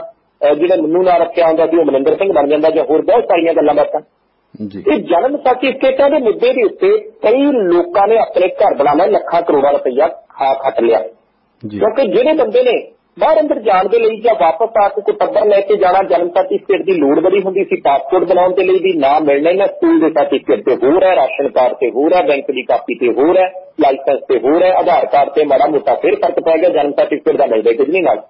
ਜੀ। ਉਹਨੂੰ ਸਿੱਧੇ ਤੌਰ ਦੇ ਉੱਤੇ ਸਿੱਧਾ ਕਰਾਉਣ ਦੇ ਲਈ ਰਾਹ ਰਸਤਾ ਕੋਈ ਨਹੀਂ ਸੀ ਹੁੰਦਾ। ਤੇ ਸਿਵਲ ਹਸਪਤਾਲ ਦੇ ਵਿੱਚ ਜਾਂ ਜਿੱਥੇ ਵੀ ਇਹਨਾਂ ਦੀਆਂ ਦਫ਼ਤਰੀ ਸ਼ਾਖਾਵਾਂ ਹੁੰਦੀਆਂ ਸੀ ਉਹਦੇ ਬਾਹਰ ਲਾਈਨ ਲਾ ਕੇ ਅੰਦਰ ਕਰਮਚਾਰੀ ਘੱਟ ਹੁੰਦੇ ਸੀ ਬਾਹਰ ਏਜੰਟ ਵੱਧ ਹੁੰਦੇ ਸੀ। ਲੋਕਾਂ ਨੇ 40 40 50 50 ਹਜ਼ਾਰ ਲੱਖ ਲੱਖ ਰੁਪਈਆ ਵੀ ਜਨਮ ਸਰਟੀਫਿਕੇਟਾਂ ਦੇ ਵਿੱਚ ਸੋਧ ਕਰਨ ਦਾ ਦਿੱਤਾ। ਪਿਛਲੀ ਵਾਰ ਸੁਰਜੀਤ ਗਿਆਨੀ ਹੋਰਾਂ ਦੇ ਕੋਲ ਵੀ ਮਸਲਾ ਉੱਠਿਆ ਰਿਹਾ। ਜੋਸ਼ੀ ਸਾਹਿਬ ਦੇ ਕੋਲ ਵੀ ਮਸਲਾ ਉੱਠਿਆ ਰਿਹਾ। ਚੁੰਨੀ ਨਾਲ ਭਗਤ ਹੋਰਾਂ ਦੇ ਕੋਲ ਵਿਭਾਗ ਹੁੰਦਾ ਸੀ, ਮਸਲਾ ਉਹਨਾਂ ਦੇ ਕੋਲ ਵੀ ਉੱਠਿਆ ਰਿਹਾ, ਪਰ ਮਸਲਾ ਕਿਸੇ ਤੋਂ ਹੱਲ ਨਹੀਂ ਹੋਇਆ। ਹੁਣ ਨਵਜੋਤ ਸਿੰਘ ਸਿੱਧੂ ਹੋਰਾਂ ਨੇ ਕਿਹਾ ਕਿ ਲੋਕਾਂ ਨੂੰ ਬਹੁਤ ਸਾਰੀਆਂ ਮੁਸ਼ਕਲਾਂ ਜਿਹੜੀਆਂ ਜਨਮ ਤੇ ਮੌਤ ਦੇ ਸਰਟੀਫਿਕੇਟ ਜਾਰੀ ਕਰਨ ਦੇ ਵਿੱਚ ਆ ਰਹੀਆਂ। ਰਿਸ਼ਵਤਖੋਰੀ ਬਹੁਤ ਵੱਡੇ ਪੱਧਰ ਤੇ ਹੈ। ਤੇ ਉਹ ਕਹਿੰਦੇ ਅਸੀਂ ਈ ਗਵਰਨੈਂਸ ਦੇ ਤਹਿਤ ਇਹ ਸਾਰਾ ਮਾਮਲਾ ਲਿਆਵਾਂਗੇ ਤਾਂ ਜੋ ਰਿਸ਼ਵਤਖੋਰੀ ਬੰਦ ਹੋਵੇ ਤੇ ਲੋਕਾਂ ਨੂੰ ਸਹੂਲਤਾਂ ਸਮੇਂ ਸਿਰ ਮਿਲਣ। ਤੇ ਨਾਲ ਦੀ ਨਾਲ ਉਹਨਾਂ ਨੇ ਸਾਰੇ ਵਿਧਾਇਕਾਂ ਨੂੰ ਇਖਤਿਆਰ ਦਿੱਤਾ ਕਿ ਤੁਸੀਂ ਕਿਸੇ ਸ਼ਹਿਰ ਦੇ ਰਿਪਰੈਜ਼ੈਂਟੇਟਿਵ ਹੋ, ਤੁਸੀਂ ਕਿਸੇ ਸ਼ਹਿਰ ਦੇ ਐਮਐਲਏ ਹੋ ਵਿਧਾਇਕ ਹੋ, ਤੁਸੀਂ ਪਬਲਿਕ ਆਡਿਟ ਕਰਾਓ। ਕੋਈ ਕੰਮ ਹੋਇਆ, ਕੋਈ ਪਾਰਕ ਬਣਿਆ, ਕੋਈ ਗਲੀ ਬਣੀ, ਕੋਈ ਸੜਕ ਬਣਿਆ, ਕੋਈ ਨਾਲੀ ਬਣੀ, ਕੋਈ ਸੀਵਰੇਜ ਪਿਆ, ਤੁਸੀਂ ਪਬਲਿਕ ਤੋਂ ਆਡਿਟ ਕਰਾ ਲਓ। ਤੁਹਾਨੂੰ ਅੰਦਰ ਖਾਤੇ ਕੁਝ ਕਰਨ ਦੀ ਲੋੜ ਨਹੀਂ। ਜਨਤਾ ਤੁਹਾਨੂੰ ਦੱਸੇ ਸਾਰਾ ਕੁਝ। ਕਿ ਭਾਈ ਕਿੱਥੇ ਠੀਕ ਚੱਲਦਾ ਕਿੱਥੇ ਘੱਟ ਕੰਮ ਕਰਦਾ ਕਹਿੰਦੇ ਅਸੀਂ ਸਾਰੇ ਅਧਿਕਾਰ ਹੇਠਾਂ ਤੱਕ ਜਿਹੜੇ ਆ ਉਹ ਡਿਸਟ੍ਰੀਬਿਊਟ ਕਰਾਂਗੇ। ਡੀਸੈਂਟਰਲਾਈਜੇਸ਼ਨ ਜਿਹੜੀ ਹੈ ਅਧਿਕਾਰਾਂ ਦੀ ਉਹ ਕਰਾਂਗੇ। ਹੈ ਤਾਂ ਚੰਗੀ ਗੱਲ ਹੈ ਜੀ ਕਿਉਂਕਿ ਪਿਛਲੀ ਸਰਕਾਰ ਦੇ ਵਿੱਚ ਜਾਂ ਉਹਦੇ ਤੋਂ ਪਹਿਲਾਂ ਵੀ ਆਪਾਂ ਵੇਖਿਆ ਸੀ ਕਿ ਬਹੁਤੇ ਅਧਿਕਾਰ ਇੱਕ ਥਾਂ ਦੇ ਉੱਤੇ ਰਹਿ ਜਾਂਦੇ ਸੀ। ਜੇ ਕਿਸੇ ਨੂੰ ਕਲੱਬ ਨੂੰ 25000 ਰੁਪਏ ਦਾ ਵੀ ਚੈੱਕ ਦੇਣ ਤਾਂ ਕਈ ਵਾਰ ਵਿਧਾਇਕ ਹੀ ਉਡੀਕਦਾ ਰਹਿੰਦਾ ਸੀ ਕਿ ਸੰਗਤ ਦਰਸ਼ਨ ਹੁੰਦੇ ਕਦੋਂ ਹੈ ਸੋ ਇਹ ਜਿਹੜਾ ਅਧਿਕਾਰਾਂ ਦਾ ਵਿਕੇਂਦਰੀਕਰਨ ਹੈ ਡੀਸੈਂਟਰਲਾਈਜੇਸ਼ਨ ਹੈ ਇਹ ਹੈ ਤਾਂ ਜ਼ਰੂਰੀ। ਪਰ ਕਦੋਂ ਤੇ ਜਾ ਕੇ ਹੁੰਦੀ ਹੈ ਕਿੰਨੀ ਕੁ ਹੁੰਦੀ ਹੈ ਇਸ ਸਾਰੇ ਮਸਲੇ ਦੇ ਵਿੱਚ ਭ੍ਰਿਸ਼ਟਾਚਾਰ ਨੂੰ ਖਤਮ ਕਰਨ ਚ ਨਵਜੋਤ ਸਿੰਘ ਸਿੱਧੂ ਜਿਹੜੇ ਕਿੰਨੇ ਕੁ ਕਾਮਯਾਬ ਰਹਿੰਦੇ ਆ ਜਿਹੜੀ ਸਖਤੀ ਅਧਿਕਾਰੀਆਂ ਦੇ ਉੱਤੇ ਕਰਨ ਦਾ ਉਹਨਾਂ ਨੇ ਹੋਕਾ ਦਿੱਤਾ ਸੁਨੇਹਾ ਦਿੱਤਾ ਉਹਦੇ ਵਿੱਚ ਕਿੰਨੇ ਕਾਮਯਾਬ ਹੁੰਦੇ ਆ ਦੇਖਦੇ ਆ ਕਿ ਸਿੱਧੂ ਸਾਹਿਬ ਦੇ ਸਿਆਸੀ ਚੌਕੇ ਛੱਕੇ ਜਿਹੜੇ ਆ ਪੰਜਾਬ ਦੇ ਲੋਕਾਂ ਨੂੰ ਕਿੰਨਾ ਕੁ ਪਸੰਦ ਆਉਂਦੇ ਆ ਤੇ ਅਧਿਕਾਰੀਆਂ ਨੂੰ ਜਿਹੜੇ ਭ੍ਰਿਸ਼ਟ ਨੇ ਕਿੰਨਾ ਕਲੀਨ ਬੋਰਡ ਕਰਨ ਦੇ ਵਿੱਚ ਉਹ ਕਾਮਯਾਬ ਰਹਿੰਦੇ ਆ। ਜੀ। ਉਧਰ ਬਾਦ ਸਾਹਿਬ ਅਕਾਲੀ ਦਲ ਦੇ ਵਿੱਚ ਸ਼ਾਂਤੀ ਮੁਹਿੰਮ ਚੱਲ ਪਈ ਹੈ ਜੀ। ਸ਼ਾਂਟੇ ਜਾ ਰਹੇ ਆ ਜੀ ਫਿਰ ਜਥੇਦਾਰ? ਸੁਖਵਰ ਜੀ ਸ਼ਾਂਤਮੇ ਤਾਂ ਪੈਣੇ ਆ। ਕਿਉਂਕਿ ਜੇ ਨਾ ਸ਼ਾਂਤੇ ਤਾਂ ਕਈਆਂ ਨੇ ਫਿਰ ਆਪ ਹੀ ਜਿਹੜੀ ਉਹ ਡਾਣੀ ਛੱਡ ਦੇਣੀ ਜਿਹਨਾਂ ਉਹ ਪਿਛਲੇ ਕਈ ਸਾਲਾਂ ਤੋਂ ਕਈ ਦਹਾਕਿਆਂ ਤੋਂ ਲੱਗਦੇ ਹੋਏ ਨੇ ਕਿ ਭਾਈ ਪਤਾ ਨਹੀਂ ਕਦੋਂ ਡਾਣੀ ਦਾਣਾ ਬਣ ਗਿਆ ਸਾਨੂੰ ਉੱਪਰ ਬੈਠ ਦਾ ਕੁਰਸੀ ਤੇ ਬੈਠ ਦਾ ਮੌਕਾ ਮਿਲੇ। ਜੀ। ਅਕਾਲੀ ਦਲ ਬਾਦਲ ਦੀ ਹਾਰ ਤਾਂ ਬਹੁਤ ਬੁਰੀ ਹੋਈ ਹੈ ਕਿਉਂਕਿ ਬੰਦਾ ਸਿੱਧਾ ਹੀ ਸੱਤਾ ਤੇ ਤੀਸਰੇ ਨੰਬਰ ਤੇ ਜਾਂਦਾ ਹੈ ਫਿਰ ਲੱਕ ਤੇ ਦਰਦ ਮਾੜੀ ਮੋਟੀ ਹੁੰਦੀ ਹੁੰਦੀ ਹੈ ਤੇ ਅਕਾਲੀ ਦਲ ਦੇ ਪ੍ਰਧਾਨ ਸੁਖਬੀਰ ਸਿੰਘ ਬਾਦਲ ਜਿਹੜੇ ਨੇ ਉਹ ਦੌਰੇ ਕਰ ਰਹੇ ਕਹਿਣ ਨੂੰ ਉਹ ਪਿਛਲੇ 8 ਦਿਨਾਂ ਤੋਂ ਕਹਿੰਦੇ ਆ ਕਿ ਭਾਈ ਜਿਹੜੇ ਬੰਦਿਆਂ ਨੇ ਸੱਜੇ ਖੱਬੇ ਕੀਤਾ, ਪਾਰਟੀ ਉਮੀਦਵਾਰ ਦੀ ਵਿਰੋਧਤਾ ਕੀਤੀ ਹੈ। ਜਿਹੜਾ ਬੰਦਾ ਪਾਰਟੀ 'ਚ ਰਹਿ ਕੇ ਪਾਰਟੀ ਦਾ ਨਹੀਂ ਹੋਇਆ, ਉਹਨੂੰ ਅਸੀਂ ਕਰਨਾ ਕੀ ਹੈ? ਆ ਜਿਹੜੇ ਸਰੋਪੇ ਵਾਲੇ ਕਹਿੰਦੇ, ਅਸੀਂ ਅਕਾਲੀ ਦਲ ਦੇ ਵਿੱਚ ਲਿਆਂਦੇ ਸੀ, ਉਹ ਸਰੋਪੇ ਵੀ ਲੱਗਿਆ ਵੋਟਾਂ ਵੀ ਨਹੀਂ ਪਾਈਆਂ, ਪਾਰਟੀ ਨੂੰ ਨੁਕਸਾਨ ਵੀ ਕਰਤਾ। ਬਹੁਤਰੀਆਂ ਗੱਲਾਂ ਕਹਿੰਦੇ ਸੀ, ਪਰ ਅਜੇ ਤੱਕ ਉਹਨਾਂ ਨੇ ਸਿੱਧੇ ਤੌਰ ਦੇ ਉੱਤੇ ਕੋਈ ਸ਼ਾਂਤੀ ਕੀਤੀ ਨਹੀਂ ਸੀ। ਇਹ ਕਹੀ ਜਾਂਦੇ ਸੀ ਕਿਸੇ ਪਾਰਟੀ ਦੇ ਵਿੱਚੋਂ ਬਾਹਰ ਕਰ ਦੇਣਾ ਪਰ ਕੱਢਣਾ ਕਿਹਨੂੰ ਹੈ? ਕਦੋਂ ਸ਼ੁਰੂ ਕਰਨਾ? ਉਹਦੀ ਪਹਿਲੀ ਉਦਾਹਰਨ ਜਿਹੜੀ ਹੈ ਉਹ ਖਰੜ ਵਿਧਾਨ ਸਭਾ ਹਲਕੇ ਤੋਂ ਵੇਖਣ ਨੂੰ ਮਿਲੀ ਹੈ ਜਿੱਥੇ ਪਵਰ ਸੰਧੂ ਆਮ ਆਦਮੀ ਪਾਰਟੀ ਦੇ ਉਮੀਦਵਾਰ ਜਿੱਤ ਕੇ ਵਿਧਾਇਕ ਬਣੇ ਨੇ ਬਹੁਤ ਥੋੜੀਆਂ ਵੋਟਾਂ ਦੇ ਨਾਲ। ਖਰੜ ਦੇ ਵਿੱਚ ਉਜਾਗਰ ਸਿੰਘ ਬਦਾਲੀ ਦਾ ਨਾਮ ਜਿਹੜਾ ਉਹ ਬੜਾ ਚੱਲਦਾ ਸੀ ਮੁਹਾਲੀ ਜ਼ਿਲ੍ਹਾ ਅਕਾਲੀ ਦਲ ਦੇ ਵੀ ਪ੍ਰਧਾਨ। ਜੀ। ਉਹ ਇੱਕ ਵਾਰ ਇੱਥੇ ਚੋਣ ਵੀ ਲੜ ਚੁੱਕੀ ਹੈ। ਪਹਿਲਾਂ ਇੱਕ ਹੋਰ ਹਲਕੇ ਤੋਂ ਮਰਿੰਡੇ ਤੋਂ ਉਹਨਾਂ ਨੇ ਚੋਣ ਜਿੱਤੀ ਵੀ ਸੀ ਵਿਧਾਇਕ ਵੀ ਰਹਿ ਚੁੱਕੇ ਆ ਬਜ਼ੁਰਗ ਬੰਦੇ ਨੇ। ਹੁਣ ਖਰੜ ਵਿਧਾਨ ਸਭਾ ਹਲਕੇ ਤੋਂ ਟਿਕਟ ਦੇ ਦਾਅਵੇਦਾਰ ਇਸ ਹਲਕੇ ਦੇ ਇੰਚਾਰਜ ਰਹਿ ਚੁੱਕੇ ਉਜਾਗਰ ਸਿੰਘ ਬਦਾਲੀ ਉਹ ਪਾਰਟੀ ਤੋਂ ਬਾਹਰ ਕੱਢ ਦਿੱਤੇ ਗਏ ਸੁਖਵੀਰ ਸਿੰਘ ਬਾਦਲ ਹੋਰਾਂ ਵੱਲੋਂ। ਜੀ। ਤੇ ਇਹ ਕਿਹਾ ਗਿਆ ਕਿ ਇਹਨਾਂ ਨੇ ਪਾਰਟੀ ਦੇ ਉਮੀਦਵਾਰ ਦੀ ਜਿਹੜੀ ਵਿਰੋਧਤਾ ਕੀਤੀ ਹੈ ਕਿਉਂਕਿ ਟਿਕਟ ਦਿੱਤੀ ਸੀ ਉਹਨਾਂ ਨੇ ਗਿਲਕੋ ਵੈਲੀ ਵਾਲਿਆਂ ਨੂੰ। ਜੀ। ਤੇ ਗਿਲਕੋ ਵੈਲੀ ਵਾਲੇ ਜਿਹੜੇ ਰਣਜੀਤ ਸਿੰਘ ਗਿੱਲ ਹੋ ਰਹੀ ਹੈ ਉਹਨਾਂ ਨੂੰ ਹਲਕੇ ਦਾ ਇੰਚਾਰਜ ਬਣਾਤਾ ਕਿ ਭਾਈ ਬਦਾਲੀ ਸਾਹਿਬ ਤਾਂ ਗਏ ਗਿੱਲ ਸਾਹਿਬ ਤੁਸੀਂ ਸੰਭੋ ਐਸਾ ਢਿੱਲਾ ਹੈਗਾ ਦੋ ਤਿੰਨ ਗੱਡੀਆਂ ਨਾਲ ਲੈ ਕੇ ਲੋਕਾਂ ਦੇ ਕੰਮ ਕੀ ਕਰਾਇਆ ਕਰੋ। ਸੁਖਵੀਰ ਸਿੰਘ ਬਾਦਲ ਹੋਰਾਂ ਨੇ ਸਿੱਧੇ ਤੌਰ ਦੇ ਉੱਤੇ ਜਦੋਂ ਇਸ ਹਲਕੇ ਦੇ ਵਿੱਚ ਜਾ ਕੇ ਹਾਰਨ ਦੇ ਬਾਵਜੂਦ ਵਰਕਰਾਂ ਦਾ ਧੰਨਵਾਦ ਕੀਤਾ ਉਹ ਕਹਿੰਦੇ ਅਸੀਂ ਬਰਾੜੀ ਸਾਹਿਬ ਨੂੰ ਬਹੁਤ ਮਾਣ ਸਤਿਕਾਰ ਦਿੱਤਾ। ਕਈ ਵਾਰ ਹਾਰੇ ਅਸੀਂ ਕਹਿੰਦੇ ਟਿਕਟਾਂ ਵੀ ਦਿੱਤੀਆਂ। ਐਤਕੀ ਵੀ ਉਹਨਾਂ ਨੂੰ ਕਿਹਾ ਸੀ ਕਿ ਅਸੀਂ ਉਮੀਦਵਾਰ ਬਦਲ ਕੇ ਦੇਖਣਾ ਤੁਸੀਂ ਸਾਡੇ ਨਾਲ ਰਹੋ ਤੁਹਾਨੂੰ ਚੰਗੀ ਜਗ੍ਹਾ ਦੇ ਉੱਤੇ ਐਡਜਸਟ ਕਰਾਂਗੇ ਪਰ ਨਹੀਂ। ਕਹਿੰਦੇ ਜਿਹੜਾ ਬੰਦਾ ਪਾਰਟੀ ਦੇ ਵਿੱਚ ਰਹਿ ਕੇ ਪਾਰਟੀ ਦੇ ਪਿੱਛੇ ਛੁਰਾ ਮਾਰਦਾ ਅਕਾਲੀ ਦਲ ਤੋਂ ਦੀ ਥਾਂ ਕੋਈ ਨਹੀਂ। ਜੀ। ਹੁਣ ਜਥੇਦਾਰ ਬਡਾਲੀ ਦੀ ਬੇਟੀ ਜਿਹੜੀ ਹੈ ਉਹ ਜ਼ਿਲ੍ਹਾ ਪ੍ਰੀਸ਼ਦ ਦੀ ਚੇਅਰਪਰਸਨ ਹੈ ਕਰਮਜੀਤ ਕੌਰ ਬਡਾਲੀ। ਜਵਾਈਆ ਸਾਹਿਬ ਸਿੰਘ ਬਡਾਲੀ। ਦੋਨਾਂ ਨੂੰ ਵਿਧਾਨ ਸਭਾ ਚੋਣਾਂ ਦੇ ਦੌਰਾਨ ਹੀ ਪਾਰਟੀ ਤੋਂ ਬਾਹਰ ਸਤਨੈਬਜੀ ਕਰ ਦਿੱਤਾ ਗਿਆ ਸੀ ਸਮਰਥਕ ਵੀ ਛੱਡ ਦਿੱਤੇ ਸੀ। ਕੇਵਲ ਤੇ ਕੇਵਲ ਜਾਗਰ ਸਿੰਘ ਬਡਾਲੀ ਨੂੰ ਪਾਰਟੀ 'ਚ ਰੱਖਿਆ ਸੀ ਕਿ ਭਾਈ ਚਲੋ ਬੰਦਾ ਜੇ ਬਾਹਰ ਕਰ ਦਿੱਤਾ ਖਿਲਾਫ ਪ੍ਰਚਾਰ ਕਰੂਗਾ ਅਜੇ ਪਾਰਟੀ 'ਚ ਕੰਮ ਤੇ ਨਹੀਂ ਹੋ ਸਕਦਾ ਮਾੜਾ ਮੋਟਾ ਫਿਰ ਸਿਆਸੀ ਤੇ ਮੂੰਹ ਮਿਲਾ ਰੱਖ ਲੈ। ਤੇ ਜਿੱਦਾਂ ਹੀ ਹੁਣ ਵਿਧਾਨ ਸਭਾ ਚੋਣਾਂ ਦਾ ਨਤੀਜਾ ਆ ਗਿਆ ਤਾਂ ਜਾਗਰ ਸਿੰਘ ਬਡਾਲੀ ਜਿਹੜੇ ਆ ਉਹਨਾਂ ਦੀ ਸ਼੍ਰੋਮਣੀ ਅਕਾਲੀ ਦਲ ਬਾਦਲ ਦੇ ਵਿੱਚ ਸ਼ਾਂਤੀ ਹੋ ਗਈ ਹੈ ਅਜੇ ਤੱਕ ਇਹ ਕਦਰ ਜਿਹੜਾ ਕਿਸੇ ਪਾਰਟੀ ਵਿਸ਼ੇਸ਼ ਦੇ ਵਿੱਚ ਸ਼ਾਮਿਲ ਨਹੀਂ ਹੋਇਆ ਪਰ ਵੇਖਦੇ ਆ ਕਿ ਇਸ ਸ਼ਾਂਤੀ ਦੇ ਨਾਲ ਅਕਾਲੀ ਦਲ ਦਾ ਕਾਦਰ ਕਿੰਨਾ ਕੁ ਵੱਧਿਆ ਰਹਿੰਦਾ ਜਾਂ ਆਉਣ ਵਾਲੇ ਦਿਨਾਂ ਦੇ ਵਿੱਚ ਇਸ ਤਰ੍ਹਾਂ ਦੀ ਸ਼ਾਂਤੀ ਦੀਆਂ ਬਹੁਤ ਸਾਰੀਆਂ ਉਦਾਹਰਨਾਂ ਅਕਾਲੀ ਦਲ ਦੇ ਵਿੱਚ ਸਾਹਮਣੇ ਆਉਂਦੀਆਂ ਪਰ ਹੁਣ ਇੱਕ ਗੱਲ ਤਾਂ ਪੱਕੀ ਹੈ ਕਿ ਅਜੇ ਤੱਕ ਵੀ ਇਸ ਸ਼ਾਂਤੀ ਨੇ ਇਹ ਸਾਫ਼ ਕਰ ਦਿੱਤੀ ਹੈ ਕਿ ਉਮੀਦਵਾਰ ਦੀ ਚੋਣ ਦੇ ਵਿੱਚ ਜਿਹੜੀ ਗਲਤੀ ਹੈ ਜਾਂ ਉਮੀਦਵਾਰ ਦੀ ਚੋਣ ਦੀ ਟਾਈਮਿੰਗ ਦੇ ਵਿੱਚ ਜਿਹੜੀ ਗਲਤੀ ਹੈ, ਉਧਰਲੇ ਪਾਸੇ ਨੂੰ ਸ਼੍ਰੋਮਣੀ ਅਕਾਲੀ ਦਲ ਕੋਈ ਜ਼ਿਆਦਾ ਤਵੱਜੋ ਨਹੀਂ ਦੇ ਰਿਹਾ। ਸਾਰਾ ਦਾ ਸਾਰਾ ਜ਼ੋਰ ਇਸ ਗੱਲ ਦੇ ਉੱਤੇ ਲੱਗਿਆ ਹੋਇਆ ਤੇ ਪਹਿਲੀ ਜਿਹੜਾ ਪੁਰਾਣਾ ਬੰਦਾ ਬੜਾ ਮੁੱਦਾ ਸਿਰ ਚੱਕਦਾ ਚੱਕ ਕੇ ਪਾਰਟੀ ਤੋਂ ਬਾਹਰ ਮਾਰੀਏ ਤੇ ਆਪਣੇ ਬੰਦੇ ਐਡਜਸਟ ਕਰ ਲਈਏ ਤਾਂ ਚੰਗੇ ਰਹਾਂਗੇ। ਜੀ। ਵਾਰ ਸਾਹਿਬ ਹੁਣ ਭਾਰਤ ਦੇ ਵਿੱਚ ਹਵਾਈ ਝੂਟੇ ਆ ਜਿਹੜੇ ਉਹ ਸਸਤੇ ਕੀਤੇ ਜਾ ਰਹੇ ਆ ਜੀ। ਹਾਲਾਂਕਿ ਰੇਲਵੇ ਦਾ ਕਿਰਾਇਆ ਜਿਹੜਾ ਮਹਿੰਗਾ ਹੋ ਗਿਆ ਜੀ ਕੋਈ ਫਾਇਦਾ ਹੋਊਗਾ ਆਮ ਲੋਕਾਂ ਨੂੰ ਇਹਦਾ?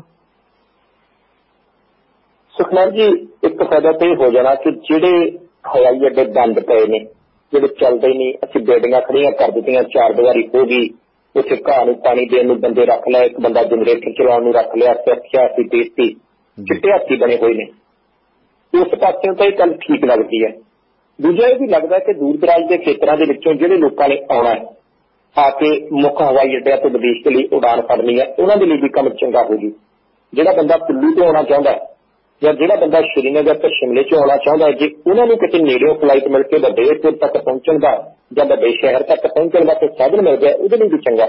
ਜੀ। ਕਈ ਇਲਾਕੇ ਐਸੇ ਵੀ ਹੈਗੇ ਆ ਜਿਹੜੇ ਭਾਰਤ ਤੋਂ ਕਈ ਵਾਰੀ ਹਫ਼ਤਾ ਹਫ਼ਤਾ ਮਹੀਨਾ ਮਹੀਨਾ ਕੱਟੇ ਰਹਿੰਦੇ ਆ ਜਦੋਂ ਸਰਦੀਆਂ ਹੁੰਦੀਆਂ। ਉੱਥੇ ਕਈ ਵਾਰ ਇੱਕੋ ਇੱਕ ਹਵਾਈ ਯਾਤਰਾ ਜਿਹੜਾ ਉਹ ਬਦਲ ਬਾਕੀ ਰਹਿ ਜਾਂਦਾ ਉਹਨਾਂ ਦੇ ਵੀ ਚੰਗਾ। ਹੁਣ। ਭਾਰਤ ਦੇ ਵਿੱਚ ਜਿਹੜੇ ਆਵਾਜਾਈ ਸਕੱਤਰ ਨੇ ਆਰਵੀ ਚੌਬੇ ਉਹਨਾਂ ਨੇ ਖੁਦ ਪ੍ਰੈਸ ਕਾਨਫਰੰਸ ਕੀਤੀ। ਉਹ ਕਹਿੰਦੇ ਉਹਨਾਂ ਤੋਂ ਦੂ- ਉਹ ਦਿਨ ਦੂਰ ਨਹੀਂ ਜਦੋਂ ਇੱਕ ਸ਼ਹਿਰ ਤੋਂ ਦੂਜੇ ਸ਼ਹਿਰ ਦੇ ਵਿੱਚ ਜਾਣਾ ਹੋਵੇ ਭਾਰਤੀ ਲੋਕਾਂ ਨੇ ਤਾਂ ਬੱਸਾਂ ਤੇ ਰੇਲ ਗੱਡੀਆਂ ਦੇ ਨਾਲ ਨਾਲ ਹਵਾਈ ਯਾਤਰਾ ਵੀ ਉਪਲਬਧ ਹੋਈ ਤੇ ਠੀਕ ਕਿਰਾਏ ਦੇ ਵਿੱਚ। ਜੀ। ਕਿਉਂਕਿ ਬਹੁਤ ਸਾਰੇ ਗੈਰ ਸਰਗਰਮ ਜਿਹੜੇ ਹਵਾਈ ਅੱਡੇ ਨੇ ਉਹਨਾਂ ਨੂੰ ਜਲਦ ਸਰਗਰਮ ਕਰਨ ਦੀ ਯੋਜਨਾ ਜਿਹੜੀ ਉਹਨਾਂ ਨੇ ਬਣਾ ਲਈ। ਹੁਣ ਸੁਖਰਾਜ ਜੀ ਜਦੋਂ ਅੰਮ੍ਰਿਤਸਰ ਅੰਤਰਰਾਸ਼ਟਰੀ ਹਵਾਈ ਅੱਡੇ ਸੰਬੰਧੀ ਇੱਕ ਗੈਰ ਸਰਕਾਰੀ ਸੰਸਥਾ ਨੇ ਪਟੀਸ਼ਨ ਪਾਈ ਹਾਈ ਕੋਰਟ 'ਚ ਜੀ। ਉਸ ਪਟੀਸ਼ਨ ਦੇ ਉੱਤੇ ਸੁਣਵਾਈ ਕਰਦਿਆਂ ਜਦੋਂ ਕੇਂਦਰ ਸਰਕਾਰ ਦੇ ਨੁਮਾਇੰਦੇ ਤੋਂ ਜਵਾਬ ਪੁੱਛਿਆ ਕਿ ਹਾਈ ਕੋਰਟ ਨੇ, ਤਾਂ ਉਹਨਾਂ ਨੇ ਇਹੀ ਕਿਹਾ ਸੀ। ਕਹਿੰਦੇ, ਗੱਲਾਂ ਤੁਹਾਡੀਆਂ ਸਾਰੀਆਂ ਠੀਕ ਨੇ, ਸਮਝ ਆਉਂਦੀਆਂ, ਪਰ ਤੁਸੀਂ ਥੋੜੀ ਜਿਹੀ ਰੁਕ ਲਓ। ਅਸੀਂ ਇੱਕ ਕਨੈਕਟੀਵਿਟੀ ਸਕੀਮ ਸ਼ੁਰੂ ਕਰਨ ਜਾ ਰਹੇ ਹਾਂ। ਜਿਸ ਕਨੈਕਟੀਵਿਟੀ ਸਕੀਮ ਦੇ ਨਾਲ ਸਾਰੇ ਮਸਲੇ ਹੱਲ ਹੋ ਜਾਣੇ। ਇਹ ਉਸੇ ਕਨੈਕਟੀਵਿਟੀ ਸਕੀਮ ਨੂੰ ਸ਼ੁਰੂ ਕੀਤਾ ਗਿਆ। ਪੰਜ ਜਿਹੜੀਆਂ ਹਵਾਈ ਕੰਪਨੀਆਂ ਨੇ, ਉਹਨਾਂ ਨੂੰ ਫਲਾਈਟਾਂ ਦੀ ਮਨਜ਼ੂਰੀ ਦੇ ਦਿੱਤੀ। 128 ਰੂਟ ਮਨਜ਼ੂਰ ਕਰ ਲਏ ਗਏ ਆ। ਤੇ ਇਹ ਵੀ ਗੱਲ ਹੈ ਕਿ 1 ਘੰਟੇ ਦੀ ਫਲਾਈਟ ਜਿਹੜੀ ਹੋਏਗੀ ਉਹਦਾ ਕਿਰਾਇਆ 2500 ਰੁਪਇਆ ਹੋਊਗਾ। 31 에ਅਰਪੋਰਟ ਸੁਖਨੈਰ ਜੀ ਐਸੇ 17 ਦੇ ਵਿੱਚੋਂ ਸ਼ੁਰੂ ਕੀਤੇ ਜਾ ਰਹੇ ਜਿਹੜੇ ਬਣੇ ਤਾਂ ਹੋਏ ਨੇ ਸਰਕਾਰ ਨੇ ਪੈਸਾ ਤੇ ਲਾਤਾ ਖਰਚਿਆ ਹੋਇਆ। ਪਰ ਉਹਨਾਂ ਹਵਾਈ ਅੱਡਿਆਂ ਤੋਂ ਅਜੇ ਤੱਕ ਇੱਕ ਵੀ ਫਲਾਈਟ ਨਹੀਂ ਹੋਈ ਉਹ ਬੰਦ ਪੈ ਸੀ ਬਿਲਕੁਲ। ਜੀ। 12 ਹਵਾਈ ਅੱਡੇ ਹੁਣ ਭਾਰਤ ਸਰਕਾਰ ਐਸੇ ਸ਼ੁਰੂ ਕਰਨ ਜਾ ਰਹੀ ਹੈ ਜਿੱਥੋਂ ਬਹੁਤ ਘੱਟ ਫਲਾਈਟਾਂ ਹੁੰਦੀਆਂ ਇੱਕਾ ਦੁੱਕਾ ਫਲਾਈਟਾਂ ਹੁੰਦੀਆਂ ਹੁਣ 19 ਅਪ੍ਰੈਲ ਤੋਂ ਇਹ ਕੰਮ ਸ਼ੁਰੂ ਹੋਣਾ ਹੈ। ਪੰਜਾਬ ਦੇ ਨਾਲ ਨਾਲ ਕੁੱਲ 19 ਹੋਰ ਸੂਬੇ ਨੇ ਜਿੱਥੇ ਇਹਨਾਂ ਫਲਾਈਟਾਂ ਦਾ ਲਾਭ ਮਿਲੂ। ਪੰਜਾਬ ਦੇ ਵਿੱਚੋਂ ਚਾਰ ਮੁੱਖ ਫਲਾਈਟਾਂ ਤੇ ਨਜ਼ਰਾਂ ਟਿਕੀਆਂ। ਜੀ। ਬਠਿੰਡੇ ਤੋਂ ਦਿੱਲੀ ਨੂੰ ਫਲਾਈਟ ਅਪ੍ਰੈਲ 'ਚ ਐਸੇ ਮਹੀਨੇ 'ਚ। ਪਠਾਨਕੋਟ ਤੋਂ ਦਿੱਲੀ ਨੂੰ ਫਲਾਈਟ ਜਿਹੜੀ ਹੈ ਉਹ ਜੂਨ ਮਹੀਨੇ 'ਚ। ਆਦਮਪੁਰ ਤੋਂ ਦਿੱਲੀ ਨੂੰ ਫਲਾਈਟ ਅਗਸਤ ਮਹੀਨੇ 'ਚ। ਲੁਧਿਆਣੇ ਦਿੱਲੀ ਨੂੰ ਫਲਾਈਟ ਜੂਨ 'ਚ। ਭਾਵੇਂ ਕਿ ਇੱਕ ਚੱਲਦੀ ਵੀ ਪਈ ਹੈ। ਜੀ। ਸੋ ਇਹ ਜਿਹੜਾ ਸਾਰਾ ਕੁਝ ਹੈ ਜੇ ਤਾਂ ਹੋ ਜਾਏ ਤਾਂ ਚੰਗਾ ਕਿ ਭਾਈ ਜੇ ਹਵਾਈ ਅੱਡੇ ਬਣ ਗਏ ਤਾਂ ਬਣਨੇ ਚਾਹੀਦੇ ਆ। ਕਾਰੋਬਾਰਾਂ ਨੂੰ ਵੀ ਬੜਾ ਵੱਡਾ ਹੁਲਾਰਾ ਮਿਲੂ। ਪਰ ਜਿੱਥੇ ਤੱਕ ਆਦਮਪੁਰ ਦੀ ਗੱਲ ਹੈ ਅਗਸਤ ਦੇ ਵਿੱਚ ਫਲਾਈਟ ਸ਼ੁਰੂ ਹੋ ਸਕੇਗੀ ਕਿ ਨਹੀਂ? ਇਹ ਆਪਣੇ ਆਪ ਦੇ ਵਿੱਚ ਬਹੁਤ ਵੱਡੇ ਰੌਲੇ ਗੋਲੇ ਵਾਲਾ ਮਸਲਾ ਕਿਉਂਕਿ ਉੱਥੇ ਤਾਂ ਜੇ ਜ਼ਮੀਨ ਐਕਵਾਇਰ ਕਰਨ ਦਾ ਮਸਲਾ ਚੱਲੀ ਜਾਂਦਾ। ਜੀ। ਸੋ ਜਿੱਦਾਂ ਵੱਡਾ ਦਾਅਵਾ ਕੀਤਾ ਗਿਆ ਕਿ 70 에ਅਰਪੋਰਟ ਚਲਾਉਣੇ ਆ ਉਹਨਾਂ ਦੇ ਵਿੱਚੋਂ ਕਿੰਨੇ ਅਸਲ ਦੇ ਵਿੱਚ ਚੱਲ ਸਕਣਗੇ ਕਿੰਨੇ ਨਹੀਂ ਇਹ ਗੱਲ ਵੀ ਆਪਣੇ ਆਪ ਸੋਚੇ ਵਿਚਾਰਨ ਦੀ ਹੋਏਗੀ। ਤੇ ਸੁਖਨੈਰ ਜੀ ਟੂਰਿਜ਼ਮ ਜਿਹੜਾ ਸੈਰ ਸਪਾਟਾ ਉਹਨੂੰ ਵੀ ਜੇ ਯੋਜਨਾ ਸਫਲ ਹੁੰਦੀ ਹੈ ਤਾਂ ਕਿਤੇ ਨਾ ਕਿਤੇ ਹੁਲਾਰਾ ਮਿਲ ਸਕਦਾ।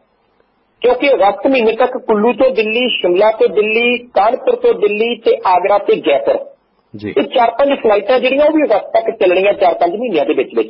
ਜੀ। ਇਹ ਸਾਰੇ ਜਿਹੜੇ ਸ਼ਹਿਰਾਂ ਦਾ ਮੈਂ ਜ਼ਿਕਰ ਕੀਤਾ ਉਹ ਸੈਲਾਨੀਆਂ ਦੇ ਪੱਖ ਤੋਂ ਬਹੁਤ ਮਹੱਤਵਪੂਰਨ ਨੇ। ਬਹੁਤ ਸਾਰੇ ਵਿਦੇਸ਼ੀ ਸੈਲਾਨੀ ਆਉਂਦੇ ਜਿਨ੍ਹਾਂ ਨੇ ਹਿਮਾਚਲ ਦੇਖਣਾ ਹੈ ਜਿਨ੍ਹਾਂ ਨੇ ਜੰਮੂ ਕਸ਼ਮੀਰ ਦੇਖਣਾ ਹੈ ਉਹ ਦਿੱਲੀ ਆ ਕੇ ਉਤਰਦੇ ਆ ਸੜਕ ਰਸਤੇ ਦੋ ਤਿੰਨ ਦਿਨ ਲੱਗ ਜਾਂਦੇ ਜੇ ਉੱਥੋਂ ਫਲਾਈਟ ਲੈ ਕੇ ਸਿੱਧੇ ਕੁੱਲੂ ਜਾਣਗੇ ਤੇ ਕੁੱਲੂ ਤੋਂ ਅੱਗੇ ਮਨਾਲੀ ਚਲੇ ਜਾਣ ਤੇ ਉੱਥੇ ਭਾਵੇਂ ਟੈਕਸੀ ਲੈ ਲੈਣ ਤੇ ਭਾਵੇਂ ਮੋਟਰਸਾਈਕਲ ਲੈ ਕੇ ਸਾਰਾ ਲੀਰ ਦਾ ਗੱਜ ਵਾਪਸ ਆ ਜਾਣ। ਜੀ। ਇਸੇ ਤਰ੍ਹਾਂ ਸ਼ਿਮਲਾ ਤੇ ਦਿੱਲੀ ਦਾ ਵੀ ਮਸਲਾ ਇਦਾਂ ਦਾ ਬਣਨਾ ਕਿ ਆਗਰਾ ਤੇ ਜੈਪੁਰ ਜਿਹੜੇ ਨੇ ਉਹ ਭਾਰਤ ਦੇਸ਼ ਦੇ ਸਭ ਤੋਂ ਵੱਧ ਵੇਖੇ ਜਾਣ ਵਾਲੇ ਸੈਲਾਨੀ ਥਾਵਾਂ ਦੇ ਵਿੱਚ ਆਉਂਦੇ ਆ। ਜੀ। ਤੇ ਜੇ ਉੱਥੇ ਨੂੰ ਫਲਾਈਟਾਂ ਦੀ ਗਿਣਤੀ ਵੱਧਦੀ ਹੈ ਤਾਂ ਜ਼ਰੂਰੀ ਨਹੀਂ ਕਿ ਦੂਸਰੇ ਦੇਸ਼ਾਂ ਦੇ ਜਿਹੜੇ ਉਧਰਲੇ ਬਸ਼ਿੰਦੇ ਹੀ ਇਧਰਲੇ ਪਾਸੇ ਨੂੰ ਧਿਆਨ ਕਰਨਗੇ ਕਿਉਂਕਿ ਹੁਣ ਬਹੁਤ ਸਾਰੇ ਪ੍ਰਵਾਸੀ ਪੰਜਾਬੀ ਵੀ ਪੰਜਾਬ ਤੋਂ ਇਲਾਵਾ ਭਾਰਤ ਦੀਆਂ ਥਾਵਾਂ ਦੇਖਣਾ ਚਾਹੁੰਦੇ ਆ। ਪਰ ਹੋ ਸਕਦਾ ਕਿ ਉਹ ਟੈਕਸੀ ਲੈ ਕੇ ਉਧਰ ਜਾਣ ਦੀ ਜਗ੍ਹਾ ਦਿੱਲੀ ਸਿੱਧਾ ਜਹਾਜ਼ ਵਿੱਚ ਬੈਠਣ ਆਗਰਾ ਇੱਕ ਦੋ ਦਿਨ ਘੁੰਮਣ ਤੇ ਉੱਥੇ ਜਹਾਜ਼ ਲੈ ਕੇ ਜੈਪੁਰ ਚਲੇ ਜਾਣ ਤੇ ਉਹਦੇ ਤੋਂ ਬਾਅਦ ਅੰਮ੍ਰਿਤਸਰ ਦੀ ਫਲਾਈਟ ਫੜ ਕੇ ਆਦਮਪੁਰ ਦੀ ਫਲਾਈਟ ਫੜ ਕੇ ਜੇ ਲੁਧਿਆਣੇ ਦੀ ਫਲਾਈਟ ਫੜ ਕੇ ਆਪੋ ਆਪਣੇ ਪਿੰਡਾਂ ਦੇ ਨੇੜੇ ਆ ਜਾਣ। ਜਿਹਦੇ ਨਾਲ ਕਿ ਬੱਚਿਆਂ ਦਾ ਭਾਰਤ ਦੇ ਨਾਲ ਲਗਾਅ ਵੀ ਬਣਿਆ ਰਹੂ। ਉਹਨਾਂ ਦੇ ਮਨ ਦੇ ਵਿੱਚ ਵੀ ਹੁੰਦਾ ਕਿ ਭਾਈ ਅਸੀਂ ਤਾਜ ਮਹਿਲ ਜ਼ਰੂਰ ਵੇਖਣਾ ਜਿਹੜਾ ਕਿ ਦੁਨੀਆ ਦੇ ਅਜੂਬਿਆਂ ਦੇ ਵਿੱਚ ਸ਼ਾਮਲ ਹੈ। ਸੋ ਗੱਲਾਂ ਤਾਂ ਚੰਗੀਆਂ ਪਰ ਜੇ ਕੇਂਦਰ ਸਰਕਾਰ ਰੀਜ਼ਨੇਬਲ ਕਿਰਾਏ ਦਾ ਜਿਹੜਾ ਮਸਲਾ ਹੈ ਉਹਨੂੰ ਇਸੇ ਤਰੀਕੇ ਜਾਰੀ ਰੱਖੇ ਕਿਉਂਕਿ ਅਜੇ ਤੱਕ ਜਿਹੜੇ ਕਿਰਾਏ ਨੇ ਉਹ ਪੌਣੇ 200 ਕਿਲੋਮੀਟਰ ਤੱਕ ਕਹਿੰਦੇ 1400 ਰੁਪਈਆ ਹੋਏਗਾ ਇੱਕ ਪਾਸੇ ਦਾ। ਤੇ 450 ਤੋਂ ਲੈ ਕੇ 550 ਕਿਲੋਮੀਟਰ ਤੱਕ ਉਹ 2500 ਰੁਪਏ ਤੋਂ ਨਹੀਂ ਵਧੂ। ਤੇ ਇੰਨੀ ਕੁ ਟਿਕਟ ਮੈਨੂੰ ਲੱਗਦਾ ਸੁਖਨੈਰ ਜੀ ਜੇ ਆਪਾਂ ਪਹਿਲੇ ਦਰਜੇ ਦੀ ਰੇਲ ਗੱਡੀ ਦੀ ਟਿਕਟ ਲੈਣੀ ਹੋਵੇ ਤਾਂ ਉਧਰ ਵੀ ਲੱਗ ਜਾਂਦੀ ਹੈ। ਤੇ ਬਹੁਤ ਸਾਰੇ ਲੋਕ ਜਿਹੜੇ ਸਮਾਂ ਬਚਾਉਣਾ ਚਾਹਣਗੇ ਜਾਂ ਕੋਈ ਐਮਰਜੈਂਸੀ ਹੋਵੇ ਪਹਿਲਾਂ ਫਲਾਈਟਾਂ ਦਾ ਤੇ ਘੱਟ ਕਿਰਾਏ ਦਾ ਲਾਭ ਕਿਤੇ ਕਿਤੇ ਚੁੱਕਿਆ ਨਹੀਂ ਜਾ ਸਕਦਾ। ਬਿਲਕੁਲ ਜੀ, ਇਹ ਤਾਂ ਬੜੀ ਲਾਹੇਵੰਦ ਸਕੀਮ ਹੋਊਗੀ ਬਿਨਾਂ ਸ਼ੱਕ। ਔਰ ਇਹਦਾ ਲਾਹਾ ਆਮ ਲੋਕਾਂ ਨੂੰ ਮਿਲੇ ਵੀ, ਕਿਉਂਕਿ ਬਹੁਤ ਸਾਰੇ ਲੋਕ ਨੇ ਆਪਣੇ ਮਰਗੇ ਜੀ, ਜਿਹੜੇ ਕੱਲੇ ਜਹਾਜ਼ ਹੀ ਦੇਖਦੇ ਆ ਜਾਂ ਫਿਰ ਪਾਣੀ ਵਾਲੇ ਬਣਾ ਲੈਣੇ ਜਿਹੜੀਆਂ ਕਿਸ਼ਤੀਆਂ ਹੁੰਦੀਆਂ, ਉਹ ਵੀ ਨਹੀਂ ਚੱਲਦੀਆਂ, ਮੀਂਹ ਤਾਂ ਪੈਂਦਾ ਨਹੀਂ, ਸੁਪਨੇ ਰਹਿ ਜਾਂਦੇ ਬਹੁਤ ਸਾਰੇ ਲੋਕ ਆ ਜਿਹੜੇ 22-2500 ਰੁਪਏ ਲਾ ਕੇ ਘੱਟੋ ਘੱਟ ਸਫ਼ਰ ਤਾਂ ਕਰ ਹੀ ਸਕਣਗੇ ਨਾ। ਬਾਰ ਸਾਹਿਬ ਈਵੀਐਮ ਮਸ਼ੀਨਾਂ ਦਾ ਮਾਮਲਾ ਕੀ ਹੈ ਜੀ? ਮੈਂ ਪਹਿਲਾਂ ਪਨੂ ਸਾਹਿਬ ਨਾਲ ਵੀ ਗੱਲ ਕਰਕੇ ਹਟਿਆ ਤੇ ਮਾਮਲਾ ਹੱਲ ਨਹੀਂ ਹੋ ਰਿਹਾ ਉਲਝਦਾ ਜਾ ਰਿਹਾ ਹੈ।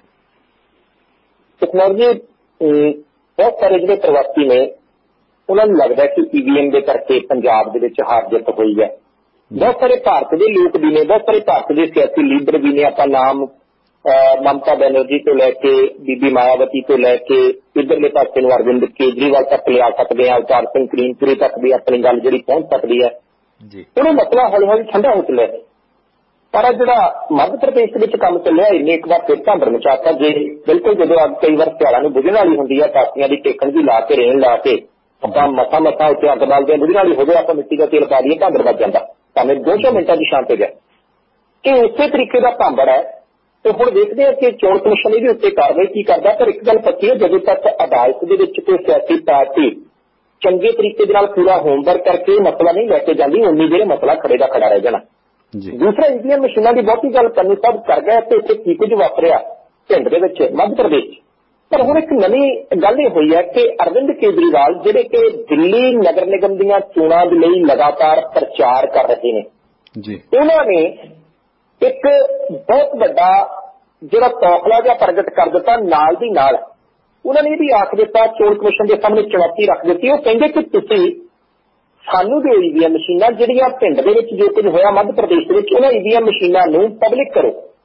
ਅਸੀਂ ਕਹਿੰਦੇ 40 ਘੰਟਿਆਂ ਦੇ ਵਿੱਚ ਵਿੱਚ ਉਹਨਾਂ ਮਸ਼ੀਨਾਂ ਨੂੰ ਦੁਬਾਰਾ ਜਿਹੜਾ ਤੁਹਾਡੇ ਸਾਹਮਣੇ ਰੱਖਾਂਗੇ ਤਾਂ ਤੁਹਾਨੂੰ ਪਤਾ ਲੱਗ ਜਾਊਗਾ ਕਿ ਅਸੀਂ ਉਹਦੇ ਵਿੱਚ ਬੜੇ ਆਰਾਮ ਦੇ ਨਾਲ ਟੈਂਪਰਿੰਗ ਕਰਨ ਦੇ ਵਿੱਚ ਕਾਮਯਾਬ ਹੋ ਗਏ। ਅਸੀਂ ਉਹਨੂੰ ਰੀਰਾਈਟ ਕਰਕੇ ਤੁਹਾਨੂੰ ਦਿਖਾਵਾਂਗੇ।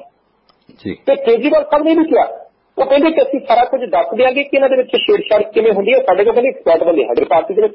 ਤੇ ਨਾਲ ਦੀ ਨਾਲ ਅਰਵਿੰਦ ਕੇਜਰੀਵਾਲ ਨੇ ਚੋਣ ਕਮਿਸ਼ਨ ਦੀ ਭਰੋਸੇਯੋਗਤਾ ਦੇ ਉੱਤੇ ਸਵਾਲ ਖੜੇ ਕਰਦਿਆਂ ਮੰਗ ਕਰ ਦਿੱਤੀ ਉਹ ਕਹਿੰਦੇ ਕਿ ਜਿੰਨੀ ਛੇਤੀ ਹੋ ਸਕਦਾ ਦਿੱਲੀ ਨਿਗਮ ਦੀਆਂ ਚੋਣਾਂ ਜਿਹੜੀਆਂ ਪੋਸਟਪੋਨ ਕੀਤੀਆਂ ਜਾਣ ਅੱਗੇ ਪਾਈਆਂ ਜਾਣ। ਜੀ। ਇਸ ਕਰਕੇ ਕਹਿੰਦੇ ਅੱਗੇ ਪਾਈਆਂ ਜਾਣ ਕਿਉਂਕਿ ਈਵੀਐਮ ਮਸ਼ੀਨਾਂ ਦੇ ਵਿੱਚ ਛੇੜਛਾੜ ਹੋਈ ਹੈ। ਇਹ ਗੱਲ ਦਾ ਕਹਿੰਦੇ ਹੁਣ ਤਾਂ ਸਾਰਿਆਂ ਨੂੰ ਸਬੂਤ ਮਿਲ ਗਿਆ ਮੱਧ ਪ੍ਰਦੇਸ਼ ਦੇ ਵਿੱਚ ਕੁਝ ਹੋਇਆ। ਇਹਨਾਂ ਨੇ ਵੀ ਕਹਿ ਦਿੱਤਾ ਕਿ ਦਿੱਲੀ ਕੈਂਟ ਦੀ ਜਿਹੜੀ ਇਲੈਕਸ਼ਨ ਸੀ ਉਹਦੇ ਵਿੱਚ ਵੀ ਇਦਾਂ ਦੀ ਮਸ਼ੀਨ ਸਾਹਮਣੇ ਆਈ ਸੀ। ਇਹ ਵੀ ਗੱਲ ਉਹਨੇ ਕਹਿ ਦਿੱਤੀ ਕਹਿੰਦੇ ਇੱਕ ਵਾਰ ਉੱਤਰ ਪੂਰਬੀ ਸੂਬੇ ਦੇ ਵਿੱਚ ਵੀ ਸਾਹਮਣੇ ਆਈ ਸੀ ਆਗਰੇ ਦੇ ਵਿੱਚ ਵੀ ਸਾਹਮਣੇ ਆਈ ਸੀ। ਤੇ ਨਾਲ ਦੀ ਨਾਲ ਉਹ ਕਹਿੰਦੇ ਕਿ ਜਦੋਂ ਵੀ ਕੋਈ ਮਸ਼ੀਨ ਖਰਾਬ ਹੁੰਦੀ ਹੈ ਇਹ ਨਹੀਂ ਸਮਝ ਆਉਂਦੀ ਕਿ ਮਸ਼ੀਨ ਦੀ ਖਰਾਬੀ ਜਿਹੜੀ ਕਮਲ ਦੇ ਤੁਰ ਦੇ ਉੱਤੇ ਆ ਕੇ ਕਿਉਂ ਹੁੰਦੀ ਹੈ ਕਿਸੇ ਹੋਰ ਤੇ ਕਿਉਂ ਨਹੀਂ ਹੁੰਦੀ? ਸਹੀ। ਉਹਨਾਂ ਨੇ ਵੀ ਕਹਿ ਦਿੱਤਾ ਕਿ ਮੈਂ ਵੀ ਇੱਕ ਤਕਨੀਕੀ ਬੰਦਾ ਆਈਆਈਟੀ ਤੋਂ ਇੰਜੀਨੀਅਰ ਆ ਥੋੜੀ ਬਹੁਤ ਤਕਨੀਕ ਮੈਂ ਵੀ ਜਾਣਦਾ। ਤੇ ਜੇ ਹਰ ਇੱਕ ਮਸ਼ੀਨ ਚੋਂ ਕਹਿੰਦੇ ਭਾਰਤੀ ਜਨਤਾ ਪਾਰਟੀ ਦੀ ਸਲਿੱਪ ਨਿਕਲਦੀ ਹੈ ਤਾਂ ਮਤਲਬ ਹੈ ਕਿ ਸੌਫਟਵੇਅਰ ਬਦਲਿਆ ਗਿਆ ਤੇ ਵੱਡੀ ਪੱਧਰ ਦੇ ਉੱਤੇ ਛੇੜਖਾਨੀਆਂ ਜਿਹੜੀਆਂ ਉਹ ਕੀਤੀਆਂ ਜਾ ਰਹੀਆਂ। ਅਜੇ ਤੱਕ ਭਾਵੇਂ ਟੈਕਨੋਲੋਜੀ ਚੋਣ ਕਮਿਸ਼ਨ ਨੇ ਅਰਵਿੰਦ ਕੇਜਰੀਵਾਲ ਦੇ ਦਿੱਲੀ ਨਿਗਮ ਚੋਣਾਂ ਨੂੰ ਅੱਗੇ ਪਾਉਣ ਦੇ ਜਿਹੜੇ ਉਹ ਮਾਮਲੇ ਦੇ ਉੱਤੇ ਆਪਣੀ ਕੋਈ ਟਿੱਪਣੀ ਨਹੀਂ ਕੀਤੀ ਤਾਂ ਇੱਕ ਗੱਲ ਪੱਕੀ ਹੋ ਗਈ ਹੈ ਕਿ ਜੇ ਇਸੇ ਤਰੀਕੇ ਸਿਆਸੀ ਤੌਰ ਦੇ ਉੱਤੇ ਚਰਚਾ ਚੱਲਦੀ ਰਹੀ ਕਿ ਈਵੀਐਮ ਮਸ਼ੀਨਾਂ ਦੇ ਨਾਲ ਗੜਬੜੀ ਕੀਤੀ ਜਾ ਰਹੀ ਹੈ ਤਾਂ ਲੋਕਾਂ ਦੇ ਵਿੱਚ ਇਹਨਾਂ ਮਸ਼ੀਨਾਂ ਦੀ ਭਰੋਸੇਯੋਗਤਾ ਘਟੂ ਜੀ। ਇਹ ਵੀ ਗੱਲ ਦੀ ਕਿਤੇ ਨਾ ਕਿਤੇ ਸੰਭਾਵਨਾ ਹੈ ਕਿ ਕੁਝ ਕੁ ਥਾਵਾਂ ਦੇ ਉੱਤੇ 2019 ਦੀ ਲੋਕ ਸਭਾ ਚੋਣ ਵੇਲੇ ਵੋਟ ਪਰਸੈਂਟੇਜ ਵੀ ਘਟ ਸਕਦੀ ਹੈ।